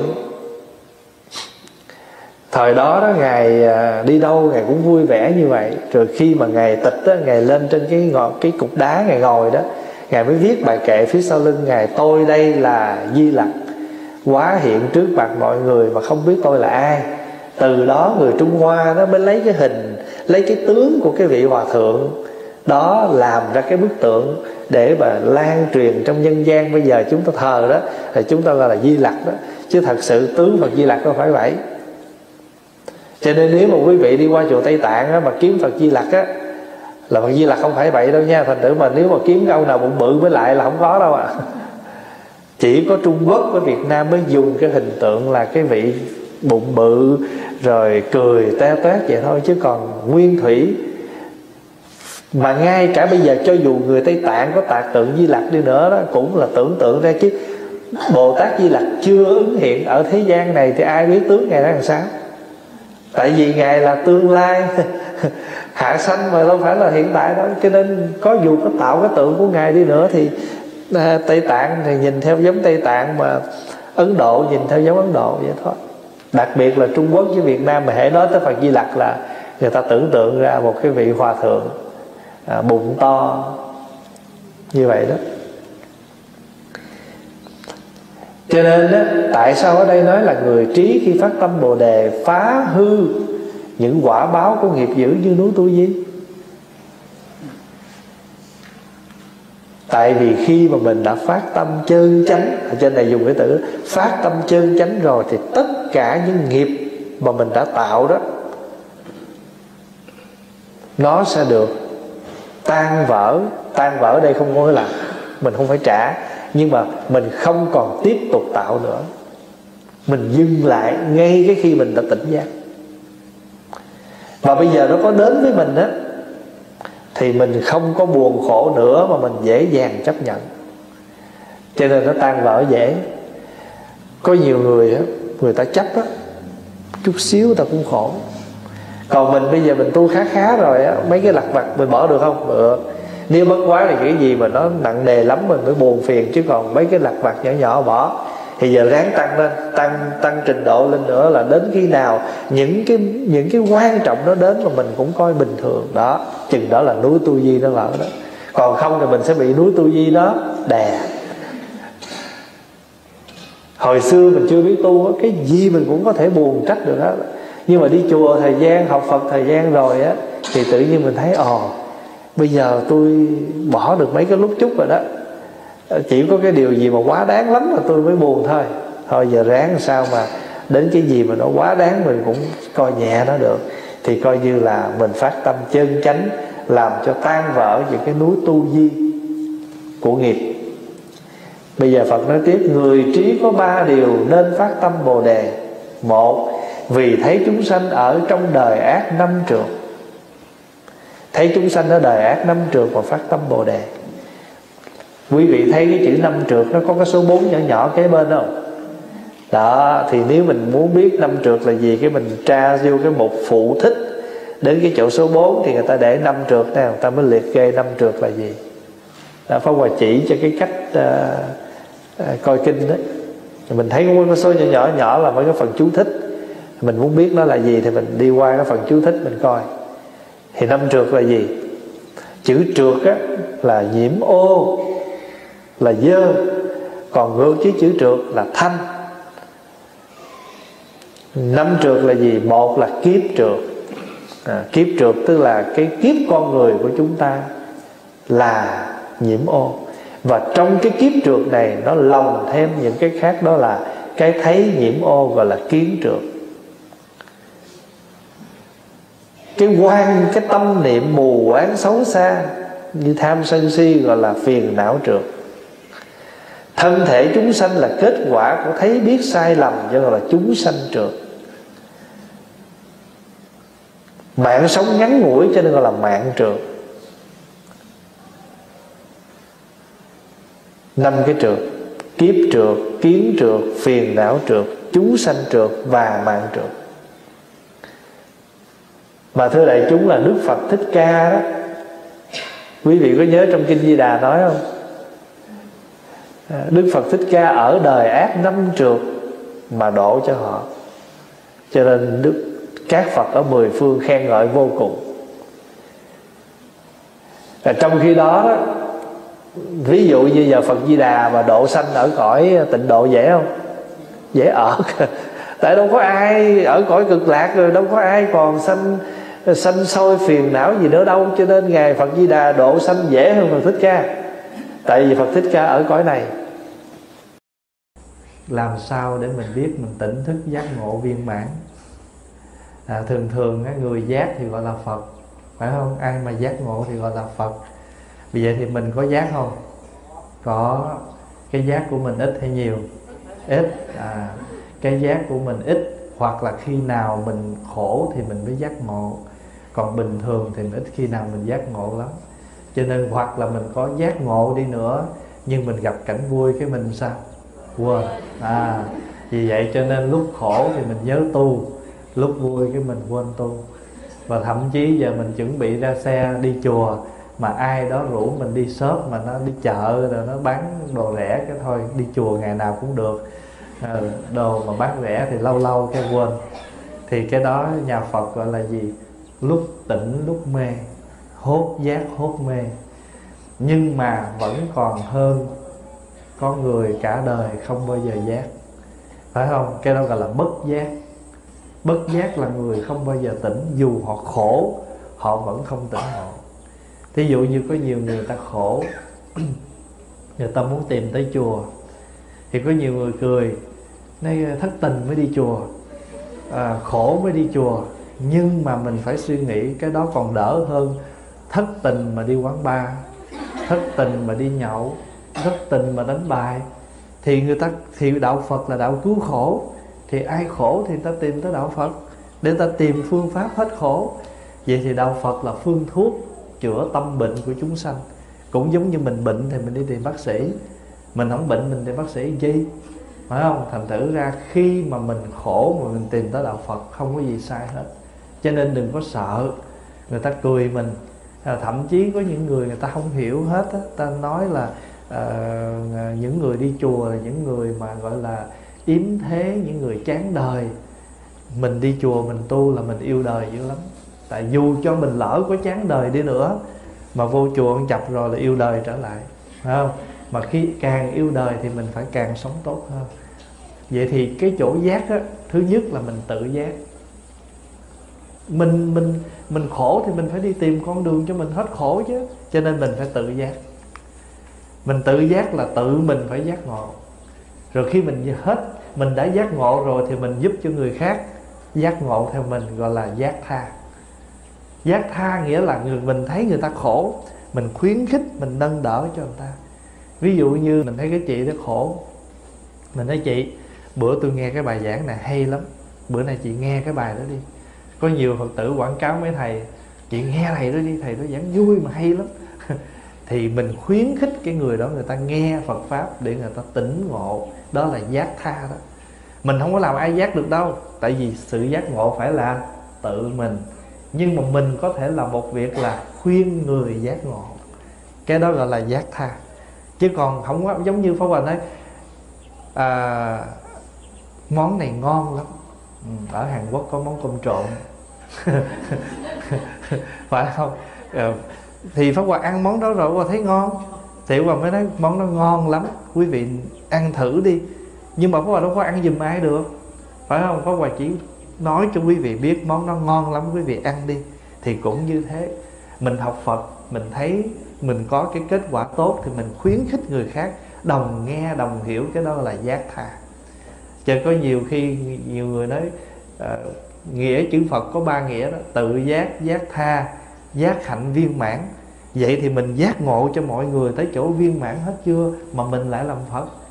Và xin thưa là giác tha là mình khuyến khích mọi người đồng tới cái chỗ giác giống mình. Mình khuyến tấn mọi người giác ngộ. Cho đến khi nào hạnh của mình đã làm xong, gọi là viên mãn.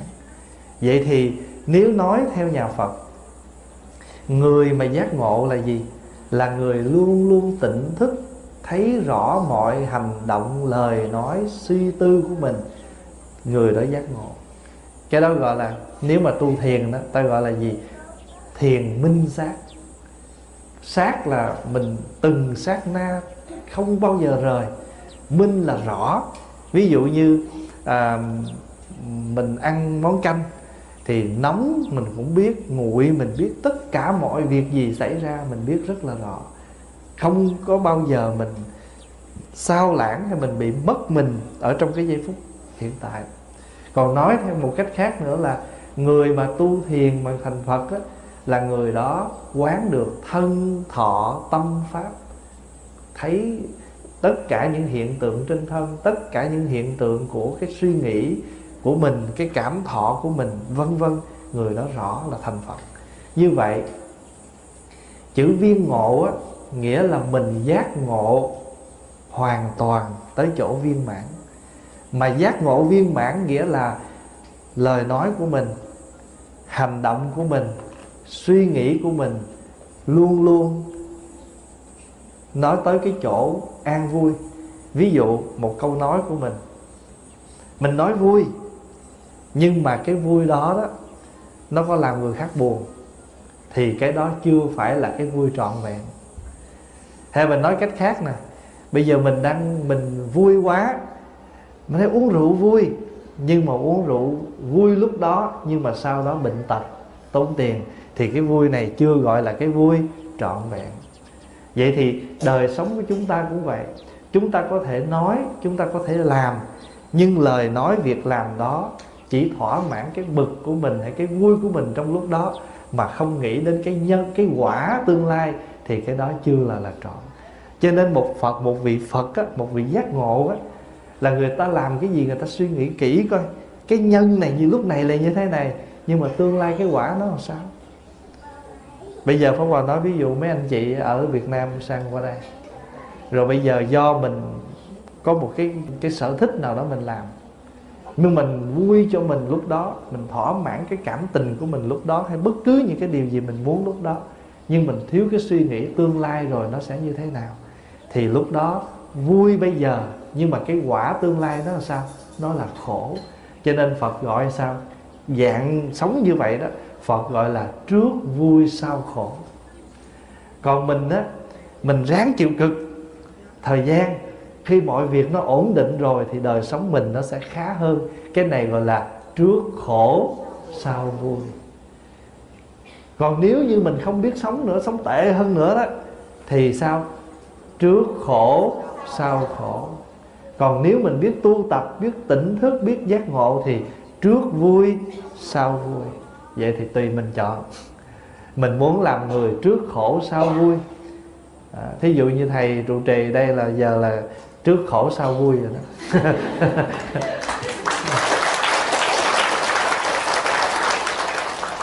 Quý vị lúc mình mình có cái chỗ này mình mới mua cái chỗ này mình cũng phải tu sửa rồi mình cũng phải trải qua một thời gian uh, dài giấy tờ vận động đủ thứ phải không? Đó rồi bây giờ từ đây từ cái điểm này mình sẽ làm nó tốt đẹp hơn mỗi ngày. Bây giờ thường người việt mình hay gọi là cái gì? An cư rồi. Thì bây giờ phải lạc nghiệp thôi. Chứ cơ sở mình có rồi, mọi việc mình có rồi, thì bây giờ chỉ lo tu thôi. Thì cái này là trước vui, sau vui. Nghĩa là từ đây về sau là mình đi tới chỗ vui thôi. Còn nếu như mà mới đầu đông đảo tập hợp về đông quá, tuôn thời gian gây lộn nhau cái đi hết trơn. Cái này gọi là trước vui, sau khổ. Mình có muốn vậy không? Không. Mình muốn là trước khổ, sau vui. Và khi vui rồi thì trước vui, sau phải vui. Đó, như vậy gọi là viên ngộ. Mọi người mình đã ngộ rồi. Mình đã hiểu được tu là tốt rồi. Mà tu trọn không? Hay là chán rồi ngưng? Hay là buồn thì tu, vui nghĩ thì cái này cũng được. Nhưng mà tu hoài, tu không tới đâu hết. Còn mình tu tới cái chỗ viên ngộ, tu tới cái chỗ viên mãn là một khi mình đã có được Phật pháp rồi, thì nhờ Phật pháp mình mới sống, mà vui được tới ngày nay, thì mình phải làm sao mình tu tập để mỗi ngày mình khá hơn nữa. Cũng giống như mình đã được qua tới đây rồi. Cái quan trọng không phải là cái vấn đề chừng nào mình sướng, mà mình có chịu sướng không. Mình chịu thì mình sẽ từ từ mình có. Quý vị thấy có một cái gì mà xây bằng cái cái lớn mà mà mà xây bằng cái lớn không? Xây bằng những cái nhỏ. Phải không? Thí dụ bây giờ mình lấy cát, mình trộn với xi măng, rồi từ từ mình, tất cả những cái gì mình có được như cái nhà này đây, nó cũng phải xây từ những cái viên gạch, những cái bao xi măng, những cái hạt cát. Thành thử ra nhớ là viên, là mình viên mãn, nhưng mà không phải đùng một cái mà mình viên mãn, mà cái viên mãn đó nó đòi hỏi ở cái sỏi nào? Cái chỗ chịu khó duy trì, nhẫn nại để không có bị hư hỏng. Thì cũng như vậy, sự tu tập của chúng ta phải y như vậy. Mình ngộ là có rồi đó. Giờ ngộ chưa? Có. Nhưng mà có khi mình tỉnh, khi mình mê, hoặc là khi vui thì mình tu, buồn thì mình nghĩ, vui với nhau thì mình tới, giận thì mình bỏ. Thì cái chỗ này không thể không thể viên mãn được đó, cho nên pháp hòa nói chuyện gần để cho mấy anh chị thấy cái tu của mình như thế nào để làm sao duy trì. Cho nên quý vị nhớ là mình cất cái chùa dễ, duy trì cái chùa khó. Phát cái tâm làm từ thiện dễ, duy trì việc từ thiện của mình mới là khó. Cạo cái đầu đi xuất gia dễ, nhưng mà giữ cái tâm tu mới khó vì cạo cái đầu thì nó dễ mà cạo cái tâm nó khó lắm. Phải không? Đó. Cho nên tu cái tướng thì dễ, mà tu cái tâm rất là khó. Mà đến khi nào mà mình thân tướng của mình, cho đến tâm tư của mình cũng tu thì cái đó gọi là viên mãn. Đại Pháp Hoài giải thích à, chữ viên ngộ gần để cho các anh chị thấy được cái sự tu. Ví dụ như hôm nào mình chán, mình không có muốn tiếp tục nữa nó thôi ráng tới cái chỗ viên mãn. Vậy làm sao? Qua được hết. Cũng giống như pháp hòa hay ví dụ cuộc đời này cũng giống như đôi lúc đó, mình à, để vô miệng một cái miếng rau miếng bánh gì mình không thích gì. Nhưng mình lỡ cắn một cái rồi không lẽ phun ra nó kỳ quá. Làm sao? Nuốt luôn. Nuốt luôn mà mình còn nói một câu nó thôi kệ ráng nuốt một cái không chết bằng tay người ta thôi. Đâu có không? Có nhiều khi mình phải nói vậy đó. Cũng giống như lúc mình mới qua có nhiều món hàng mình đâu ăn đâu có được phải không? Nhưng mà lỡ bỏ miệng cái khó ăn quá. Thôi thôi ráng nuốt một cái. Giờ giờ quý vị thấy cuộc đời này mình đã từng nuốt kiểu đó chưa? Ô oh, cha hà rầm rồi bây giờ mình nói cái chữ nghĩa rồi. Rồi bây giờ viên ngộ còn là tên của một vị thiền sư Việt Nam. Hòa thượng thiền sư này có tên là Nguyễn Ngọc Giót. Không biết năm sinh của Ngài là năm nào, Nhưng mà Ngài mất năm 1845 Hòa thượng đi tu năm 1806 Đến 8 1808 Thì Ngài cho xây dựng một ngôi chùa. Chùa này có tên là chùa Lan Nhã, Bây giờ là chùa Tôn Thạnh ở Cần Duộc. Long An. Ở đây có ai ở Long An không? Biết chùa Tôn Thạnh không? Biết không? À chùa Tôn Thạnh đó, thì cái vị khai sơn ra chùa Tôn Thạnh ở Long An ở Cần Duộc đó chính là thiền sư Viên Ngộ. Và ngài, cái hạnh tu của ngài là gì biết không? Ngài tu theo hạnh của trì địa Bồ Tát. Biết trì địa bồ tát không? À trì địa bồ tát là một vị bồ tát luôn luôn sửa đường làm cầu. Chỗ nào hư đường hư xá là ngày đến ngày làm. Đó. ví dụ như giờ mai mốt ở, ở đạo tràng viên ngộ đây mà chỗ nào hư hao có anh nào chị nào đó tới cầm búa cầm gỗ rồi đó đó là trì địa bồ tát đó. À, trì là giữ trì là giữ địa là đất. Giữ gìn mặt đất, mọi nơi, mọi chốn cho liền lặt để mọi người đi được tốt. Đó. Hoặc là quý vị gửi tiền về Việt Nam, xây cầu, những cái vùng quê hẻo lánh người ta không có cầu để đi trong làng. Mình có tiền mình xây những cái cầu đó đó, mình đúc cầu, mình làm đường như vậy đó. Đó là hạnh tu của trì địa đó. Giờ mình không đích thân mình làm được, nhưng mình có khả năng mình cúng dường cái vật dụng để mình mướn người ta làm cái đó cũng là một cái hạnh. Và đó cũng là một trong tám công đức của một bồ tát. Tám công đức là gì? Tức là mình có thể đào giếng nè. Chỗ nào mà người ta à, có không có nước uống mình đào giếng cho người ta. Như giờ ở bên ấn độ đó ai mà có chừng 500 đô thôi là đào được cái giếng cho người nghèo. Đó thì có nhiều thầy người ta phát tâm. Người ta đi qua đó người ta đi khắp vùng nghèo của ấn độ mà những cái vùng không có nước xài đó mướn người ta khoan cái giếng mà khoan cái giếng vậy tốn 500 đô. Rồi có nhiều người ta đi làm ra ta để dành. Người ta để dành người ta lâu lâu người ta cúng năm người ta cúng được hai cái giếng bốn cái giếng tùy. Đó rồi hoặc là bây giờ ở Việt Nam những cái nơi nghèo khổ mình có chừng à, 10 ngàn đô ví dụ vậy đi mình làm được cái cầu. Thì nếu mà mình không có thì mình đi kêu gọi. À, chị bây giờ 10 ngàn thì mỗi người mình hụng ngàn. Ví dụ vậy 10 người thì mình mình được làm một cái cầu thì tu cái hạnh đó là hạnh của trì địa bồ tát.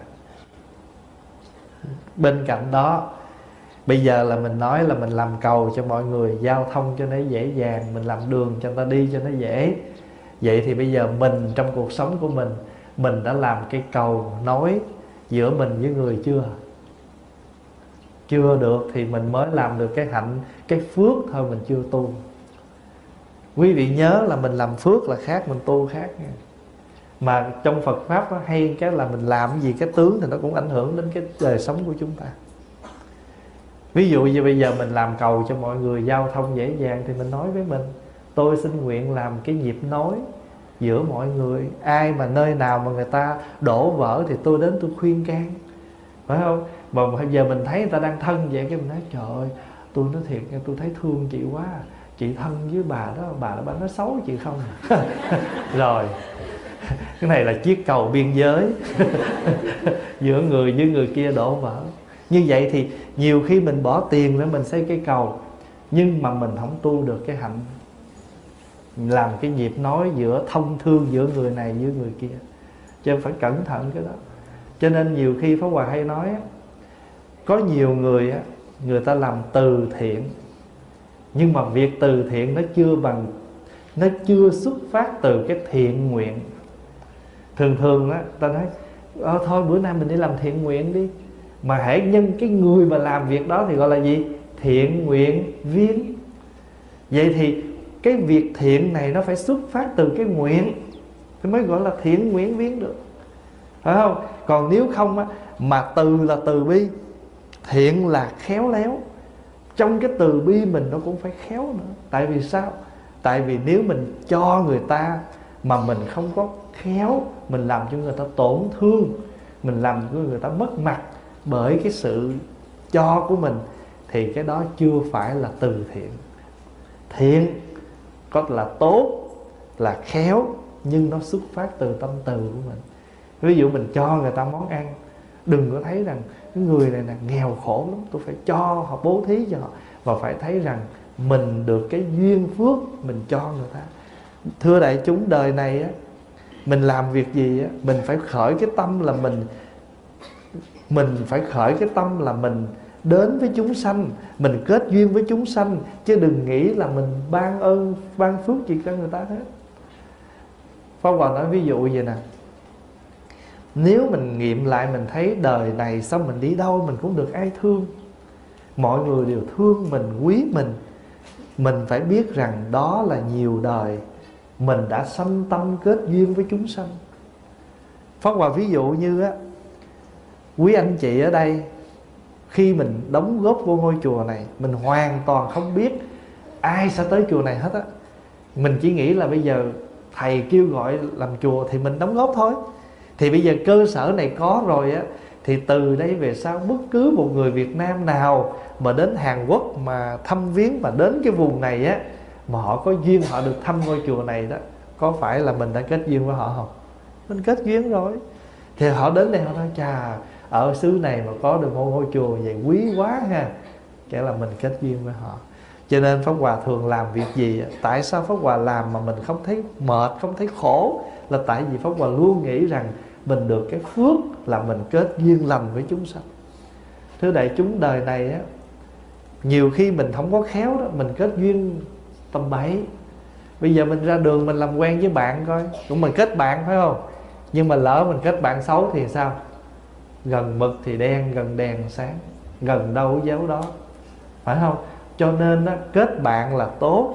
Nhưng mà đức phật dặn chúng ta phải có cái trí phải có cái tuệ để chúng ta biết rằng người nào mình nên kết mà người nào mình nên xả. Xả là gì? Giao lưu thôi không có gần gũi được không có kết giao không có kết thân được. Cho nên mình à, thường thường á mình lấy chồng lấy vợ mình cũng muốn tìm người là mình thích mình yêu chứ gọi là kết duyên à, hay là kết hôn. Đó, mà nếu mình mình kết hôn cũng đúng thì mình hết hồn. Cho nên bất cứ cái duyên gì mình cũng muốn kết hết. Cho nên mình á làm việc gì mình cũng nghĩ rằng mình muốn kết duyên với chúng sanh và khi mình nói là mình kết duyên với chúng sanh là không thấy mình ban ơn cha hết. Tôi được cái phước tôi kết duyên. Cho nên người hoa họ họ dùng từ hay lắm. Họ cúng dường gì cho mình nó nói kết duyên. À, sư phụ muốn con muốn kết duyên với sư phụ. Kết duyên là gì? Mình luôn luôn luôn gặp được những người thiện tri thức. Họ cúng dường họ ít khi nào họ dùng chữ con xin cúng dường con xin kết duyên. À, thì mình nhận cái đó là mình nhận cái duyên lành với họ, mai mốt không có mất. Cho nên đời này ai ăn chay mình nấu dù một miếng cơm chay mình cho người ta ăn, cũng kết duyên đó. Rồi sao? Đứng về cái phước á, lúc nào mình cũng gặp những người người ta cho mình ăn, không có đói. Rồi thấy người ta cần người ta có mặt mình có, người ta không có mặt mình có người ta đó, cho người ta đó, không bao giờ sợ, không có quần áo mặc. Mà pháp hòa thấy rõ cái đó, pháp hòa thấy rõ cái đó và cái phước mà mình làm mà mình không có suy nghĩ gì hết á, mình cứ thấy người ta khổ mà khả năng mình có là mình giúp thôi. Là là mình mình tâm mình nó rất là vô tư trong vấn đề mà, gọi là, cầu cái cái báo ơn lại, thì cái phước đó nó vô tận. Vì sao? Bởi mình không, mình tâm mình nó vô tận cho nên phước nó vô tận. Cho nên người ta thường dùng là vô lượng, vô biên. Không có lường kế, không có đeo đông đo đếm được, thì cái biên tế đó nó vô cùng vô tận, hay dữ lắm. Cho nên mình phải tin cái đó. Cho nên ngài ngài viên ngộ thiền sư. Khi không không, trong sử thì không có ghi cái năm sinh của ngài. Và chỉ chỉ chỉ nói là ngài mất năm 1845 và ngài đi xuất gia năm 1806 và đến 1808 thì ngài lập cái chùa Lan Nhã đó và sau này đổi tên là chùa Tôn Thạnh bây giờ ở Cần Duộc Long An. Và lúc đó người ta gọi một ngôi chùa đó thân thương bằng cách là gọi chùa gì? Chùa ông ngộ. Vậy thôi. Dạ. Và ngài cái hạnh tu của ngài là cái hạnh tu của ngài là cái cái hạnh à, làm đường. Và sau này ngài à, có một hôm ngài nghĩ rằng ngài tu cũng lâu rồi mà ngài chưa có à, à, đạt được cái gì đó theo cái nguyện của ngài đó thì cuối cùng ngài mới ngài mới nhịn ăn nhịn uống trong 49 ngày rồi ngài thiền tịch. Đó. bây giờ tháp của ngài cũng còn ở ở đó. Đó là thiền sư Việt Nam.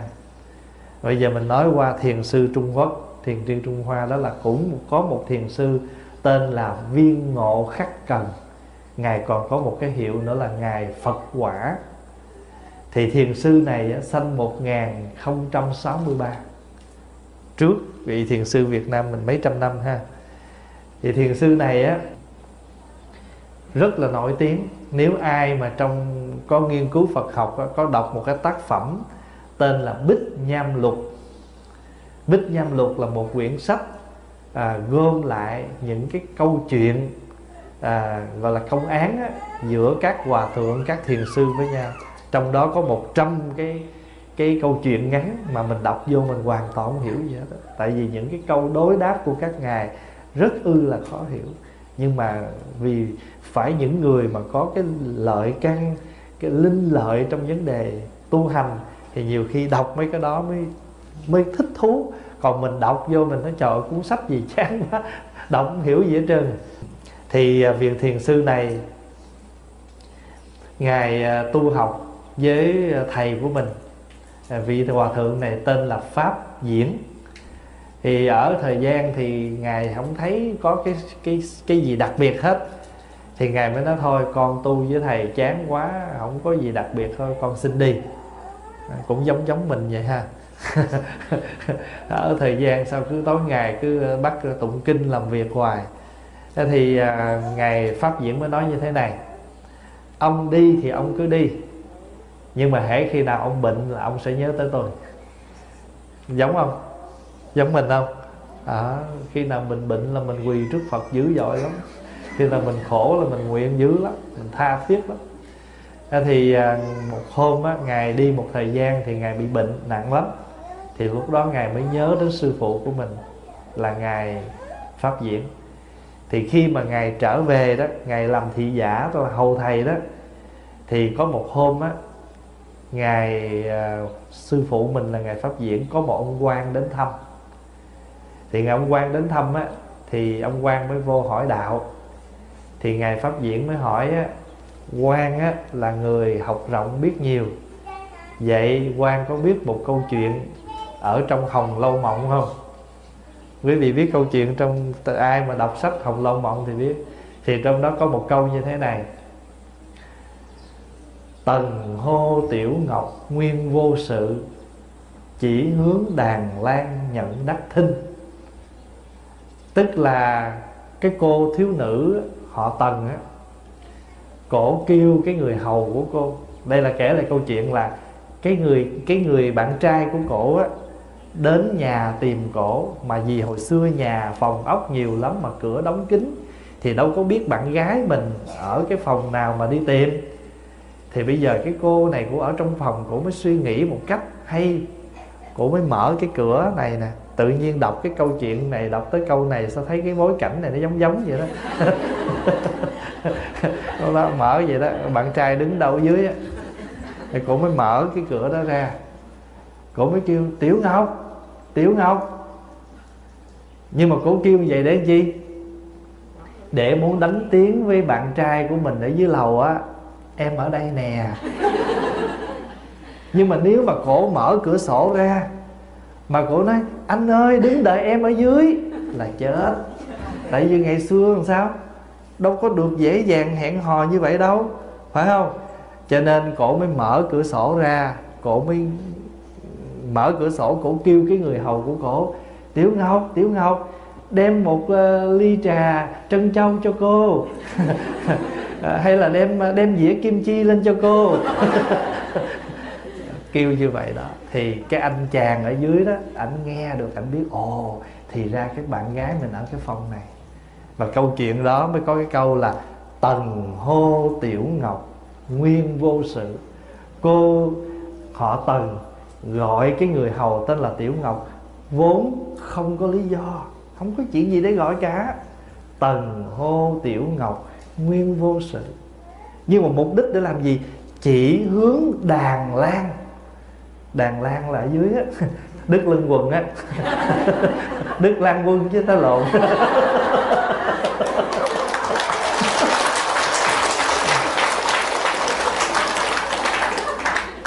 Chỉ hướng đàn lan nhận đắc thinh.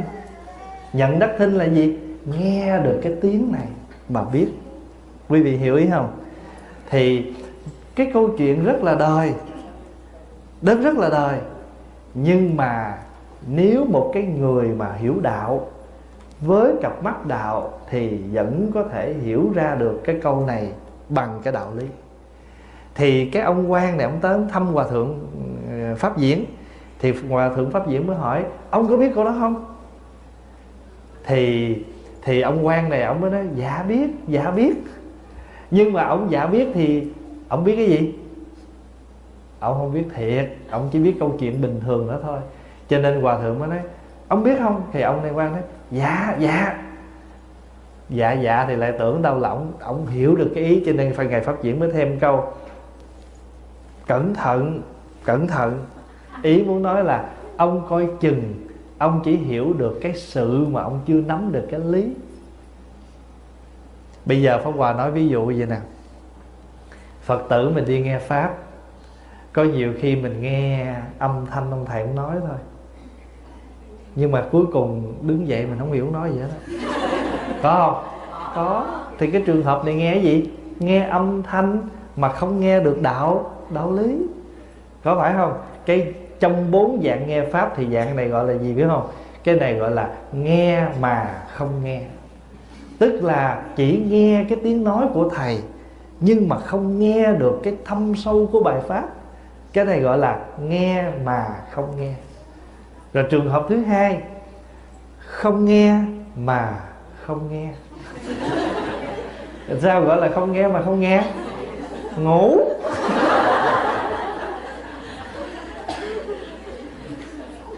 Giống như ngày hôm qua, đoàn đi cả cái buổi tối rồi cái bắt đầu có quà cầm microphone có quà thông báo chương trình ở dưới này, cứ không là mình biết rồi đó, cái này là không nghe mà không nghe.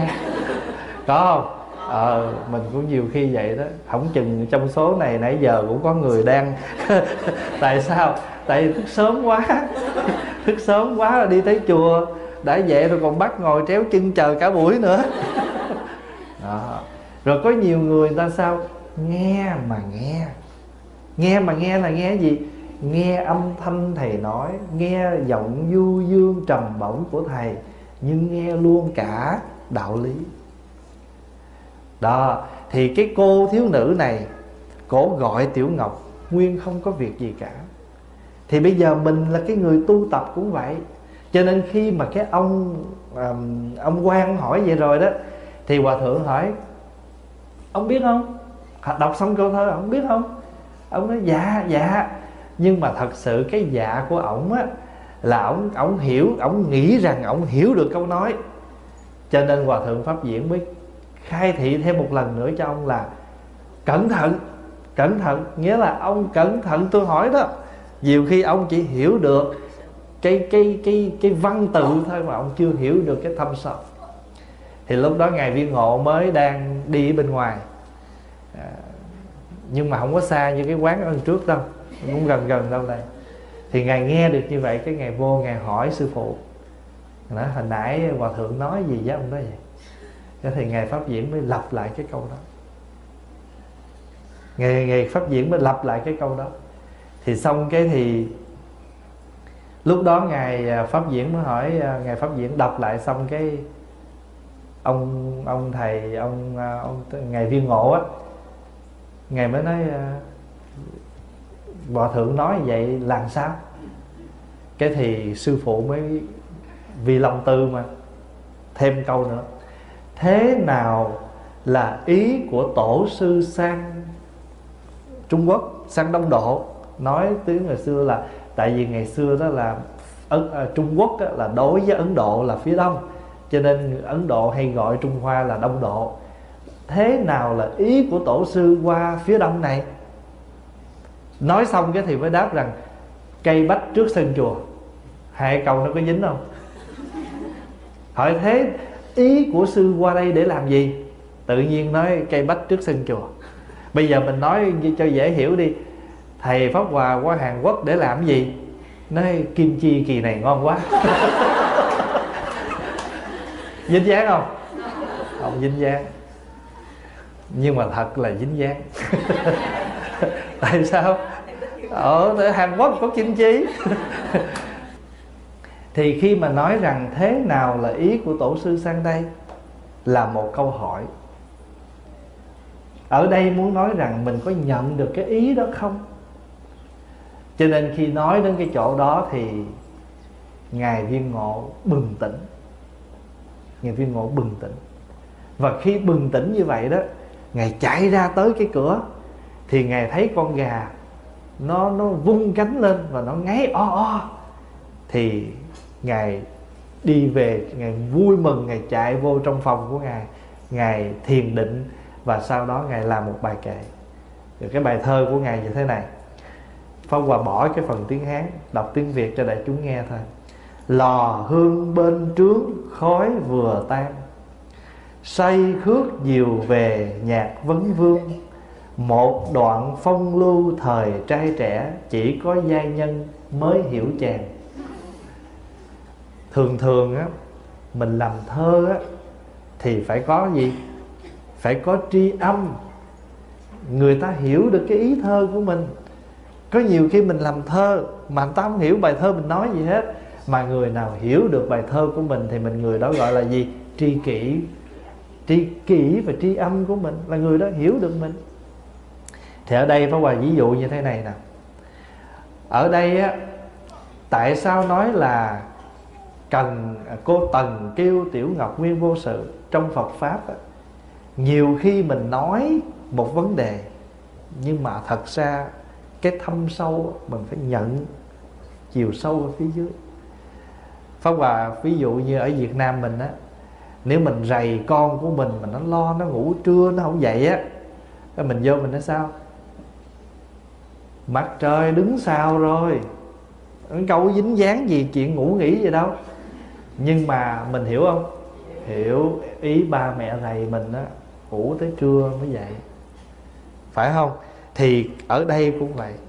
Những cái câu nói mà các mình nhiều khi mình nói phong hòa ví dụ như thế à, à, gà gáy rồi.